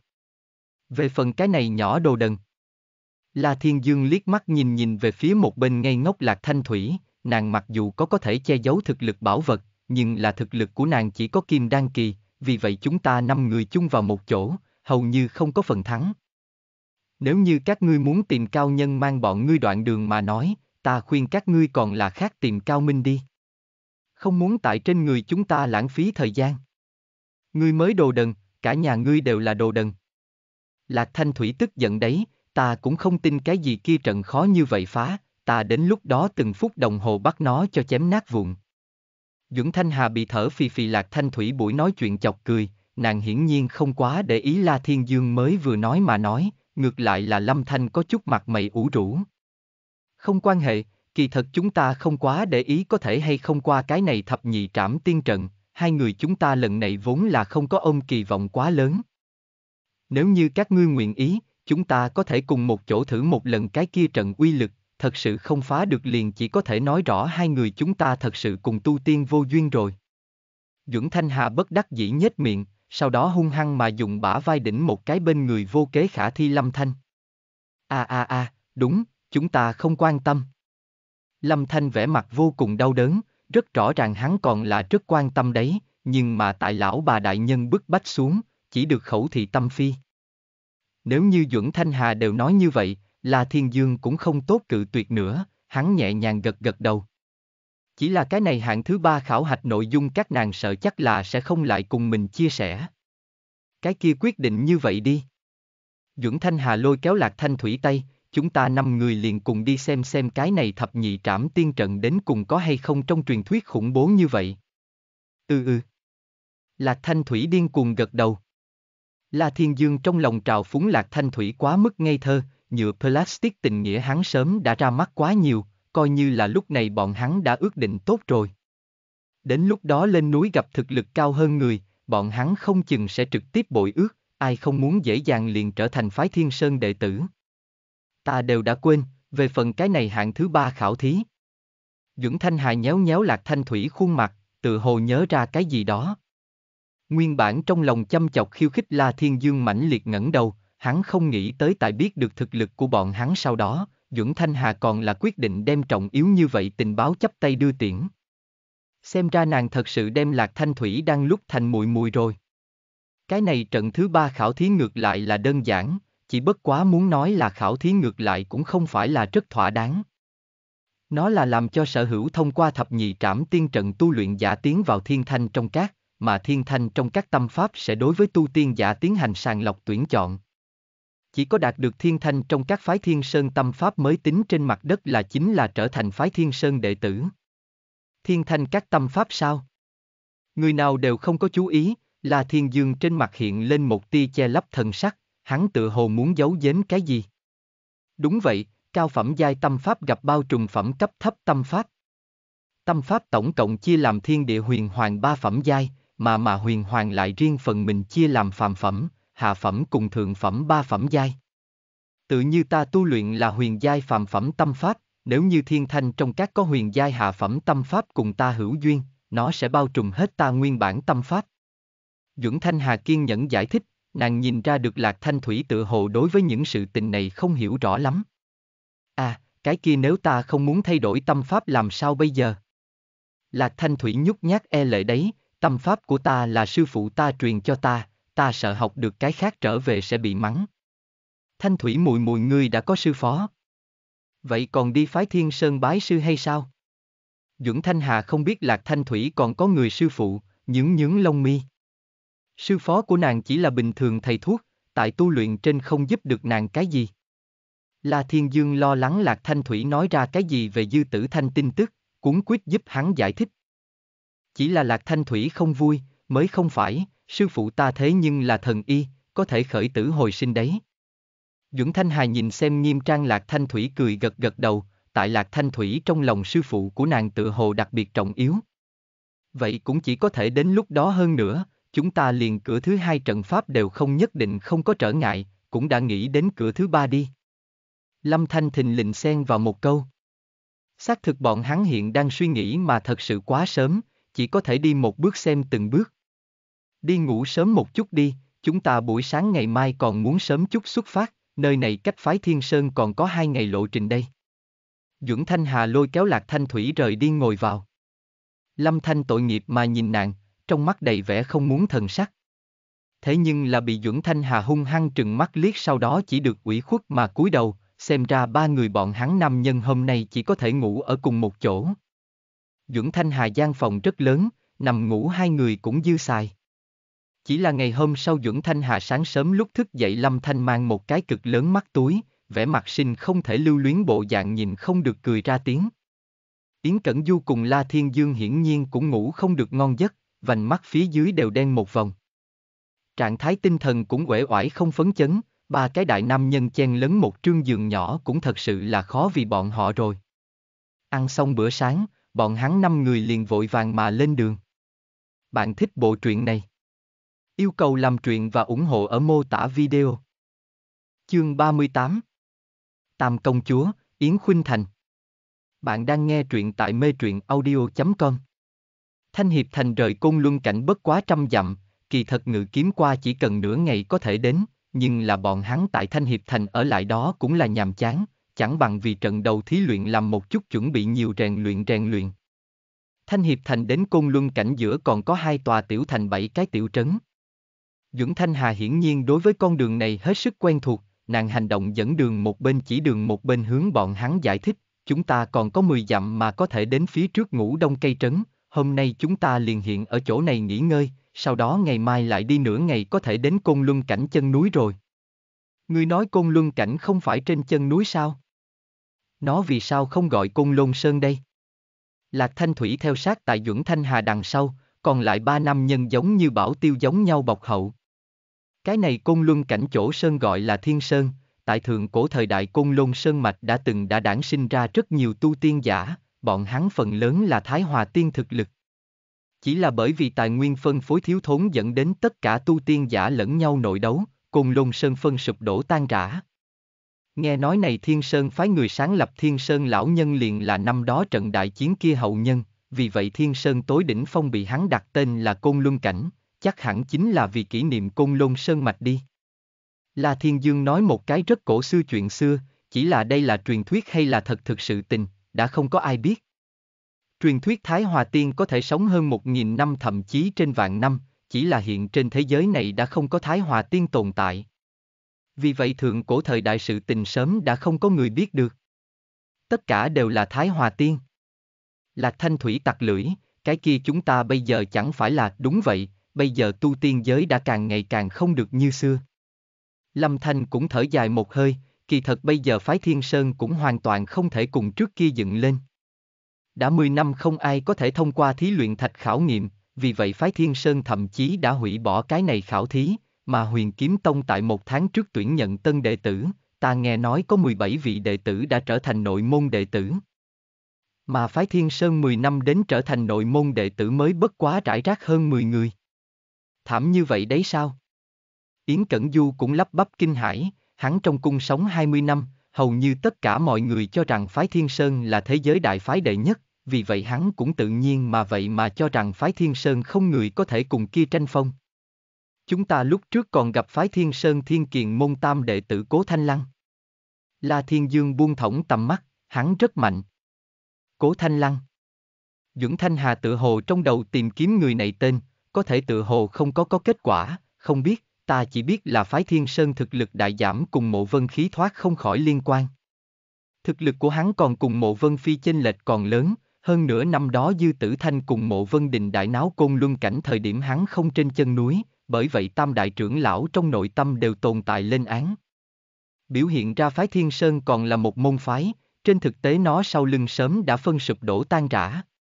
Không riêng gì tam đại trưởng lão không phục mộ vân khí, đã liền thiên kiền môn nội môn đệ tử đều trong âm thầm xa lánh lấy. Nàng thở dài một hơi, làm cho La Thiên Dương giật mình chính là, nàng rõ ràng đối với phái Thiên Sơn như thế giải.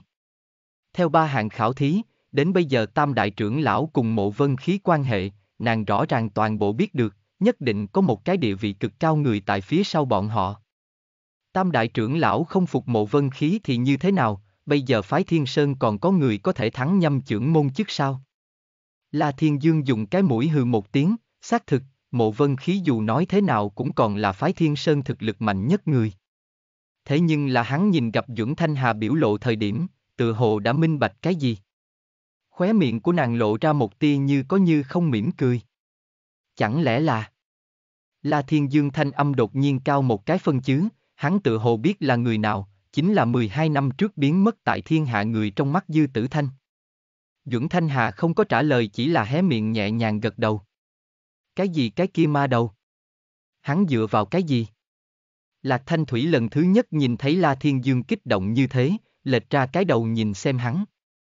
Dư tử thanh trong mắt của chúng ta có thể là ma đầu không tệ, thế nhưng là tam đại trưởng lão tin tưởng mộ vân phi, bọn hắn tin tưởng ánh mắt của hắn sẽ không sai. Dưỡng Thanh Hà thả chậm bước chân, nhìn về phía xa xa, chỗ đó có một dòng suối nhỏ. Ngươi thật sự tin tưởng, nửa bước Thái Hòa Tiên Mộ Vân Đình cùng một cái lúc trước vẹn vẹn có kim tiên đỉnh phong thực lực dư tử thanh có thể giết chết ở Thái Hòa Tiên ngay người gần trăm năm Mộ Vân Phi sao? Dưỡng Thanh Hà mỉm cười, tầm mắt của nàng tại mỗi người trên mặt chợt lóe lên. La Thiên Dương đã trầm mặt, xác thực, nếu như không phải Mộ Vân Phi tự mình nghĩ chết, Mộ Vân Đình cùng Dư Tử Thanh làm sao có thể giết giết hắn. Nói cách khác, 13 năm trước đây trận kia tai họa, nhất định nhất định có trong đó ẩn tình. Thế nhưng là ẩn tình là cái gì? La Thiên Dương không quan tâm, mộ Vân Phi có phải hay không Dư Tử Thanh giết đấy, hắn cũng không quan tâm, hắn chỉ là hy vọng Dư Tử Thanh thật là cái đại ma đầu. Như vậy hắn có thể danh chính ngôn thuận đấy, giết hắn đi. Năm ngày trước, Thiên Đô Thành, trong Hoàng Cung. Nam Cung Thiên Vấn ngày hôm qua vừa mới đến Thiên Đô Thành, sáng sớm ngày hôm sau trời mới tờ mờ sáng, hắn liền vội vàng mà tiến đến gặp Đại Hạ Vương. Hắn không thể chờ đợi được mà nghĩ đem Yến Cẩn Du khôi phục việc vui bẩm báo cho Hoàng thượng. Nam Cung thúc thúc, Nam Cung thúc thúc. Nam Cung Thiên Vấn đang tại Hoàng thành trên bậc thang bước nhanh hành tẩu, sau lưng rồi lại truyền đến thanh thúy giọng nữ. Đó là một người mặc màu lam nhạt quần áo nữ sinh, phủ lấy một kiện trắng noãn lụa mỏng, trên cổ một cái màu xanh ngọc vòng cổ lộ ra nàng trắng noãn như tuyết da thịt, làm cho người ta nhìn không được muốn sờ một chút. Nàng lông mày như lá liễu, cặp môi đỏ mọng như anh đào, trên đầu đeo đỉnh đầu khảm lấy bảo thạch trăm cài. Giờ phút này hai tròng mắt của nàng trong tựa hồ khởi động lấy thanh tịnh nước mắt, nhìn qua rung động lòng người. Tam công chúa. Nam cung thiên vấn cung kính ngoặt dưới eo. Trước mắt cái này rung động lòng người đẹp như tiên nữ công chúa chính là đại hạ vương triều tam công chúa, cũng là Yến Cẩn Du thương yêu nhất muội muội Yến Khuynh Thành. Nàng thật là có khuynh quốc khuynh thành mỹ mạo, cùng tên của nàng vừa sợ giống nhau. Nam cung thúc thúc, ngươi tại sao trở về rồi, Cẩn Du ca ca, Cẩn Du ca ca hắn phải hay không phải Yến Khuynh Thành nghẹn ngào, nàng cuối cùng hai chữ thật sự cũng không nói ra được. Hầu như tất cả mọi người cho Yến Cẩn Du rơi xuống tử vong thông cáo. Hiện tại Nam Cung Thiên Vấn một người đã trở về, vì vậy bọn hắn đều cho rằng Yến Cẩn Du đã bị chết, Nam Cung Thiên Vấn trở về vội về chịu tan. Tứ công chúa đừng thương tâm, Yên Thái tử còn quả thực là hảo hảo đấy. Nam Cung Thiên Vấn mắt thấy Yến Khuynh Thành sẽ phải co quắp ngồi dưới đất, Nam Cung Thiên Vấn cuốn quýt đỡ nàng. Cái gì? Ngươi nói cái gì? Vấn thúc. Ngươi nói là sự thật sao? Yến Khuynh Thành nguyên bản thương tâm hồn đều nhanh mất, giờ phút này lại đột nhiên tinh thần, dáng Nam Cung Thiên Vấn, sợ mình nghe lầm. Công chúa, công chúa ngươi chú ý một chút hình tượng. Nam Cung Thiên Vấn mắt thấy Yến Khuynh Thành một chút nước mũi một chút nước mắt, dở khóc dở cười, thật sự, chúng ta tại Trích Tiên Thành gặp được một vị nhỏ thần y, nàng cứu được Thái tử Điện Hạ. Hiện tại Thái tử Điện Hạ cùng bọn họ cùng đi phái Thiên Sơn bái sư rồi. Thật tốt quá, thật tốt quá. Ta biết ngay cẩn du ca ca phúc lớn mạng lớn nhất định sẽ không có chuyện gì đâu. Yến Khuynh Thành đã ngừng lại nước mắt, mắt của nàng gốc còn treo nước mắt, một đôi sáng ngời thấu triệt ánh mắt đặc biệt đẹp mắt. Nàng tự hồ cảm giác mình quá mức thất thố rồi, vội vàng lui ra phía sau hai bước, xoa xoa khóe mắt nước mắt. Nam Cung Thiên Vấn là Yến Cẩn Du cận vệ, tự nhiên cùng Yến Khuynh Thành quan hệ cũng rất thân gần. Công chúa Điện Hạ có lẽ yên tâm đi. Thái tử hắn hiện tại thế nhưng là sinh khí dồi dào, đợi cho hắn học thành trở về cả triều văn võ cũng không dám nữa đối với hắn có chỉ trích rồi. Nam Cung Thiên Vấn lời nói trong cũng lộ ra cao hứng, từ lúc Yến Cẩn Du sinh bệnh thời điểm, cả triều văn võ tuy rằng biểu hiện ra không dám nói, sau lưng rốt cuộc vẫn là Đại Yên Vương không phế trước thái tử một chuyện mà canh cánh trong lòng. Bọn hắn bí mật càng là đều nghị luận, ở trên hướng thời điểm cũng hữu ý vô ý mà nhấp lên việc này, chỉ là Đại Yên Vương mỗi lần đều ngậm miệng không đề cập tới, thì cứ như vậy qua loa qua. Vấn thúc, ngươi mau vào đi thôi, Tảo Triều lập tức liền muốn bắt đầu, ngươi nhanh lên đem cái này việc vui nói với phụ vương. Yến Khuynh Thành vẻ mặt chờ mong, nếu như không phải có quy định nữ tử không được vào triều, nàng hận không thể hiện tại liền vọt vào trong hoàng cung đi. Ta biết rồi, công chúa điện hạ đi tốt. Nam Cung Thiên Vấn mỉm cười đối với Yến Khuynh Thành bốc không người. Đối với thái tử người tốt hắn Nam Cung Thiên Vấn đều nhớ kỹ, xa lánh Yến Cẩn Du người hắn cũng nhớ kỹ. Lúc trước hắn không có tinh lực để ý tới những thứ này, hiện tại hắn sợ dĩ gấp gáp như vậy trở về, cũng là bởi vì hắn cấp cho những thứ này âm thầm mấy chuyện xấu tiểu nhân một cái cảnh cáo. Bạn thích bộ truyện này? Yêu cầu làm truyện và ủng hộ ở mô tả video. Chương 39 Trục xuất Yến Cẩn Du Bạn đang nghe truyện tại mê truyện audio.com Đại Hạ Vương Triều Cung Điện so với phái Thiên Sơn Tử Thanh Cung Cung Điện còn muốn lớn hơn gấp mấy lần. Trong đại sảnh đứng sừng sững lấy sáu cây màu đỏ cây cột, chúng nó chèo chống lấy cái này cung điện đỉnh, phía trên dùng vàng điêu khắc long văn. Mỗi một cái đều dương nanh múa vuốt, hận không thể theo cây cột trong bay ra ngoài bình thường. Giờ phút này trên đại điện có một to như vậy màu vàng vương tọa, phía trên ngồi một người mặc long bào trung niên nam tử. Hắn sinh anh Tuấn, cái trán sung mãn thẳng cứng trước mặt sắc mặt ngưng trọng, khuôn mặt đế vương chi tướng. Trên môi lưu lại một dúng một chữ hồ, nhìn qua đã có 40 nhiều tuổi rồi, cái này là Đại Hạ Vương, Yến Ngọc Sơn. Ở đằng kia trăm bước có hơn Đại Điện Hạ, trên trăm danh ăn mặc các màu áo bào đấy, ăn mặc khôi giáp quan văn võ quan chính cung kính mà đứng ở nơi đó. Các ngươi còn có cái gì muốn nói đấy sao? Hạ Vương thanh âm tuy rằng lười biếng rồi lại không thiếu vương giả uy nghiêm. Bẩm hoàng thượng, Nam cung tướng quân cùng yên thái tử chuyến này đã đi một tháng có hơn, theo 10 ngày trước bắt đầu sẽ thấy cũng nghe không được bọn hắn bất luận cái gì tin tức, chắc là gặp cái gì bất trắc, hy vọng hoàng thượng lấy đại cục làm trọng, khác đứng một vị thái tử. Một hồi từ chối sau đó, một vị ăn mặc áo mãn bào đại thần theo trong đám người đi ra. Rất rõ ràng hắn là bị đẩy ra đấy, rồi lại nói ra tuyệt đại đa số đại thần tiếng lòng. Đã 10 ngày không có tin tức sao? Hạ vương trầm tư một chút mà, cùng đi tiến đến thế nhưng là bảo vệ vệ đại tướng quân Nam Cung tướng quân, có người nào đó to gan như vậy liền trong hoàng cung tướng quân cũng dám giết. Yến Ngọc Sơn đang nói, ánh mắt phiêu hướng dưới đài, chỗ đó ngồi một cái thoạt nhìn hai mươi ra mặt nam tử, giờ phút này chính nhắm mắt tùy ý sau lưng thái giám vì hắn quạt gió. Hắn cốt cách nhỏ gầy, khuôn mặt cùng Yến Cẩn Du hơi có chút giống nhau, thế nhưng là cùng Yến Cẩn Du tinh thần trọng nghĩa bất đồng, tại hắn trận mắt trong nháy mắt, trong đôi mắt để lộ ra một tia âm tàn thần sắc.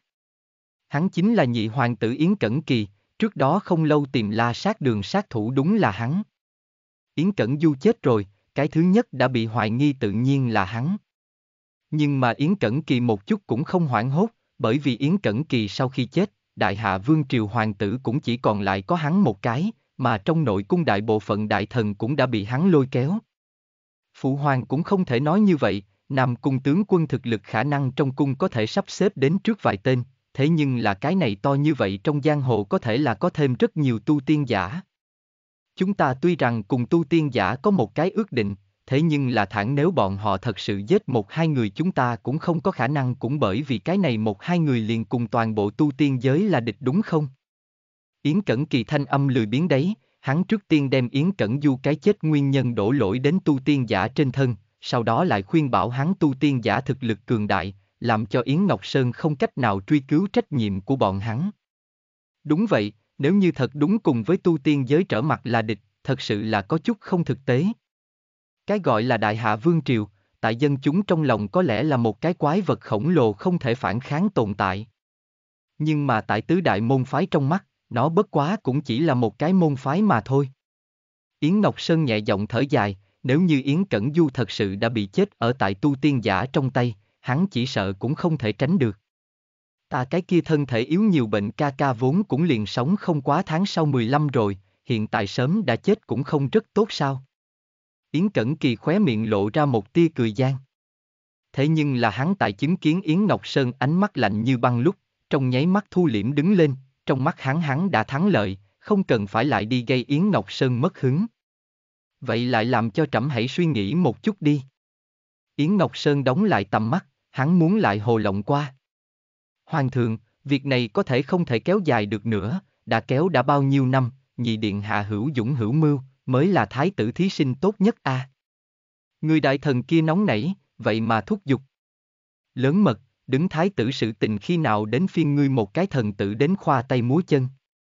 Yến Ngọc Sơn phát hỏa, hắn đường đường một cái đế hoàng, lại bị một cái thần tử sai khiến, người tới, kéo xuống dưới, cách chức làm thứ dân. Thanh âm của hắn băng lãnh, nhìn xem đi lên hộ vệ kéo rời đi cái kia quỳ xuống đất cầu xin tha thứ đại thần. Ánh mắt của hắn lại một lần nữa phiêu hướng mọi người. Báo. Nam cung tướng quân đã trở về. Đại điện truyền ra bên ngoài đến cấp báo. Nghe được Nam cung thiên vấn tin tức, chúng đại thần càng bất an rồi. Bọn hắn đều nghị luận, trên triều đình uy nghiêm vậy mà khống chế không nổi rồi. Nam cung tướng quân đã trở về. Mắt thấy Nam cung thiên vấn bước nhanh đi tới, Yến Ngọc Sơn lông mày dần dần giãn ra. Mà cái kia nguyên bản lười biến Yến Cẩn Kỳ, vốn tưởng rằng có đầy đủ nắm chắc lấy được thắng lợi Yến Cẩn Kỳ lập tức cố định thẳng tắp, ánh mắt gắt gao nhìn chầm chầm vào cái kia trong đám người xuyên thẳng qua nam tử. Bẩm báo đại vương, thần đã trở về. Nam Cung Thiên vấn hướng về phía Yến Ngọc Sơn làm cái ấp, quay đầu lại nhìn thoáng qua những cái kia xì xào bàn tán quan văn. Tại hắn trợn mắt xuống, những đại thần kia nhao nhao không nói, bọn họ đều là người bình thường, vẫn còn có chút e ngại trước mắt tướng quân. Cẩn du hắn thế nào? Nam Cung Thiên Vấn cũng không có vội và trả lời, ánh mắt của hắn ở đằng kia chút ít bối rối đại thần trên mặt từng cái đảo qua, hắn muốn xem lấy những thứ này nguyên bản cùng vọng tự đại người, theo kiêu ngạo đến e ngại. Thần cùng Thái tử Điện Hạ tại Trích Tiên Thành gặp cao nhân cứu giúp, giờ phút này Thái tử Điện Hạ hiện tại thế nhưng là sinh khí dồi dào. Nam Cung Thiên Vấn cười lạnh một tiếng, hắn đem cao nhân cùng sinh khí dồi dào mấy chữ cắn mà đặc biệt nặng. Ánh mắt của hắn lần nữa nhìn về phía ngồi ở một bên Yến Cẩn Kỳ, giờ phút này Yến Cẩn Kỳ sắc mặt tuyệt không dễ coi, hắn mặt âm trầm, vốn cho là la sát đường đã xử lý xong Yến Cẩn Du bọn hắn, lại không nghĩ rằng bọn hắn rõ ràng toàn bộ còn sống, còn chạy tới trước mắt của mình. Cái kia Cẩn Du hắn ở đâu? Yến Ngọc Sơn đại hỉ, tại nhị vị thái tử trong, hắn thích nhất chính là Yến Cẩn Du, đây cũng là qua nhiều năm như vậy hắn chậm chạp không chịu phế truất nguyên nhân của hắn. Bẩm báo hoàng thượng, thái tử hắn lần này không chỉ có bệnh nặng mới khỏi, ngược lại nhân họa đắc phúc, kết xuất kim đan, giờ phút này hắn cùng theo cao nhân cùng đi hướng phái thiên sơn bái sư rồi. Khi hắn bái sư trở về tất nhiên sẽ so với thần mạnh mẽ hơn trăm lần. So với Nam Cung Thiên vấn mạnh mẽ hơn trăm lần, đó là Kim Tiên còn là huyền tiên. Chúng đại thần không dám tưởng tượng, phải biết rằng Kim Đan là muốn trở thành một gã tu tiên giả phải qua đường, có bao nhiêu người tu luyện vài thập niên liền Kim Đan đều không có kết xuất đến. Yến Cẩn Du mới 24 tuổi, nói không chừng mấy năm sau là hắn có thể đủ phi thăng, đến lúc đó không chỉ là thực lực, đã liền tuổi thọ đều kéo dài dài hơn nhiều. Yến Cẩn Kỳ không phải tu tiên giả, hắn biết mình thiên phú cũng không đủ lấy tu tiên, bởi vậy hắn giờ phút này hận hàm răng trực dương dương, dưới đáy lòng chửi bới la sát đường những người kia rõ ràng không có giết chết Yến Cẩn Du. Những cái kia nguyên bản ủng hộ Yến Cẩn Kỳ đại thần nhau nhau lắc đầu, bọn hắn biết rõ Yến Cẩn Kỳ đã không tranh hơn Yến Cẩn Du rồi, tương lai ngôi vị hoàng đế hẳn là cái này Yến Cẩn Du đấy. Rất tốt, ta hoàng thất nhất tộc rốt cuộc muốn ra tu tiên giả rồi. Yến Ngọc Sơn thỏa mãn gật đầu, hắn thiên phú của mình cũng không cao, bởi vậy đối với chuyện tu tiên chỉ có hướng tới rồi lại có lòng không đủ lực. Xem ra lúc trước cho ngươi cùng theo Cẩn Du là rất đúng. Cảm ơn Hoàng thượng khích lệ, là Thái tử Điện hạ hắn vận mệnh của mình. Nam Cung Thiên Vấn cung kính lại bốc không người. Tốt rồi, nếu như tất cả mọi người không sao, liền lui ra đi. Yến Ngọc Sơn khoát tay áo theo vương tọa trên đứng lên. Hắn đã rất lâu không có vui vẻ như vậy qua. Yến Cẩn Kỳ mặt xám như tro, hắn đã không biết mình là như thế nào theo trong đại điện ra tới. Những cái kia như thường ngày vênh váo tự đắc đại thần giờ phút này đều cẩn thận bồi thường lấy khuôn mặt tươi cười, chạy đến Nam Cung Thiên Vấn bên người đến hỏi han. Thế nhưng là Nam Cung Thiên Vấn nhưng chỉ là cười lạnh, hắn biết rõ những người này đều là dây leo trên tường, nhìn thấy chỗ dựa Yến Cẩn Kỳ ngược lại rồi, nhao nhao đã chạy tới đều muốn phụ thuộc Yến Cẩn Du. Loại người này, hắn Nam Cung Thiên vẫn chẳng muốn phản ứng, vì vậy hắn đẩy ra đám người đi ra ngoài. Về phần la sát đường một chuyện, hắn không có nói. Dù sao Yến Ngọc Sơn cũng cầm bọn hắn không biết làm thế nào, huống chi Nam Cung Thiên vẫn biết rõ, lần thứ nhất ám sát thất bại sau đó bọn hắn tuyệt sẽ không lập tức tiến hành lần thứ hai. Đến lúc đó Yến Cẩn Du đã đến phái Thiên Sơn. Tại Côn Luân cảnh hắn so với tại bên cạnh mình càng thêm an toàn. Khốn nạn, cái này la sát đường người tất cả đều là khốn nạn. Yến Cẩn Kỳ vừa mới trở lại phủ đệ của mình liền tức giận đến mà khắp nơi đập loạn ly cùng bình hoa. Thu tiền không làm việc. Một cái bệnh lao con đều làm không được, liền cái hạ tiên đều giết không chết. Thật sự là phế vật đồ vật.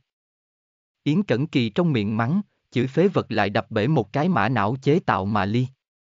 Cho dù những thứ này bình hoa ly đều giá trị xa xỉ, nhưng mà Yến Cẩn Kỳ căn bản không cần để trong lòng, hắn là có tiền, nhưng mà hắn không cam lòng chỉ có tiền.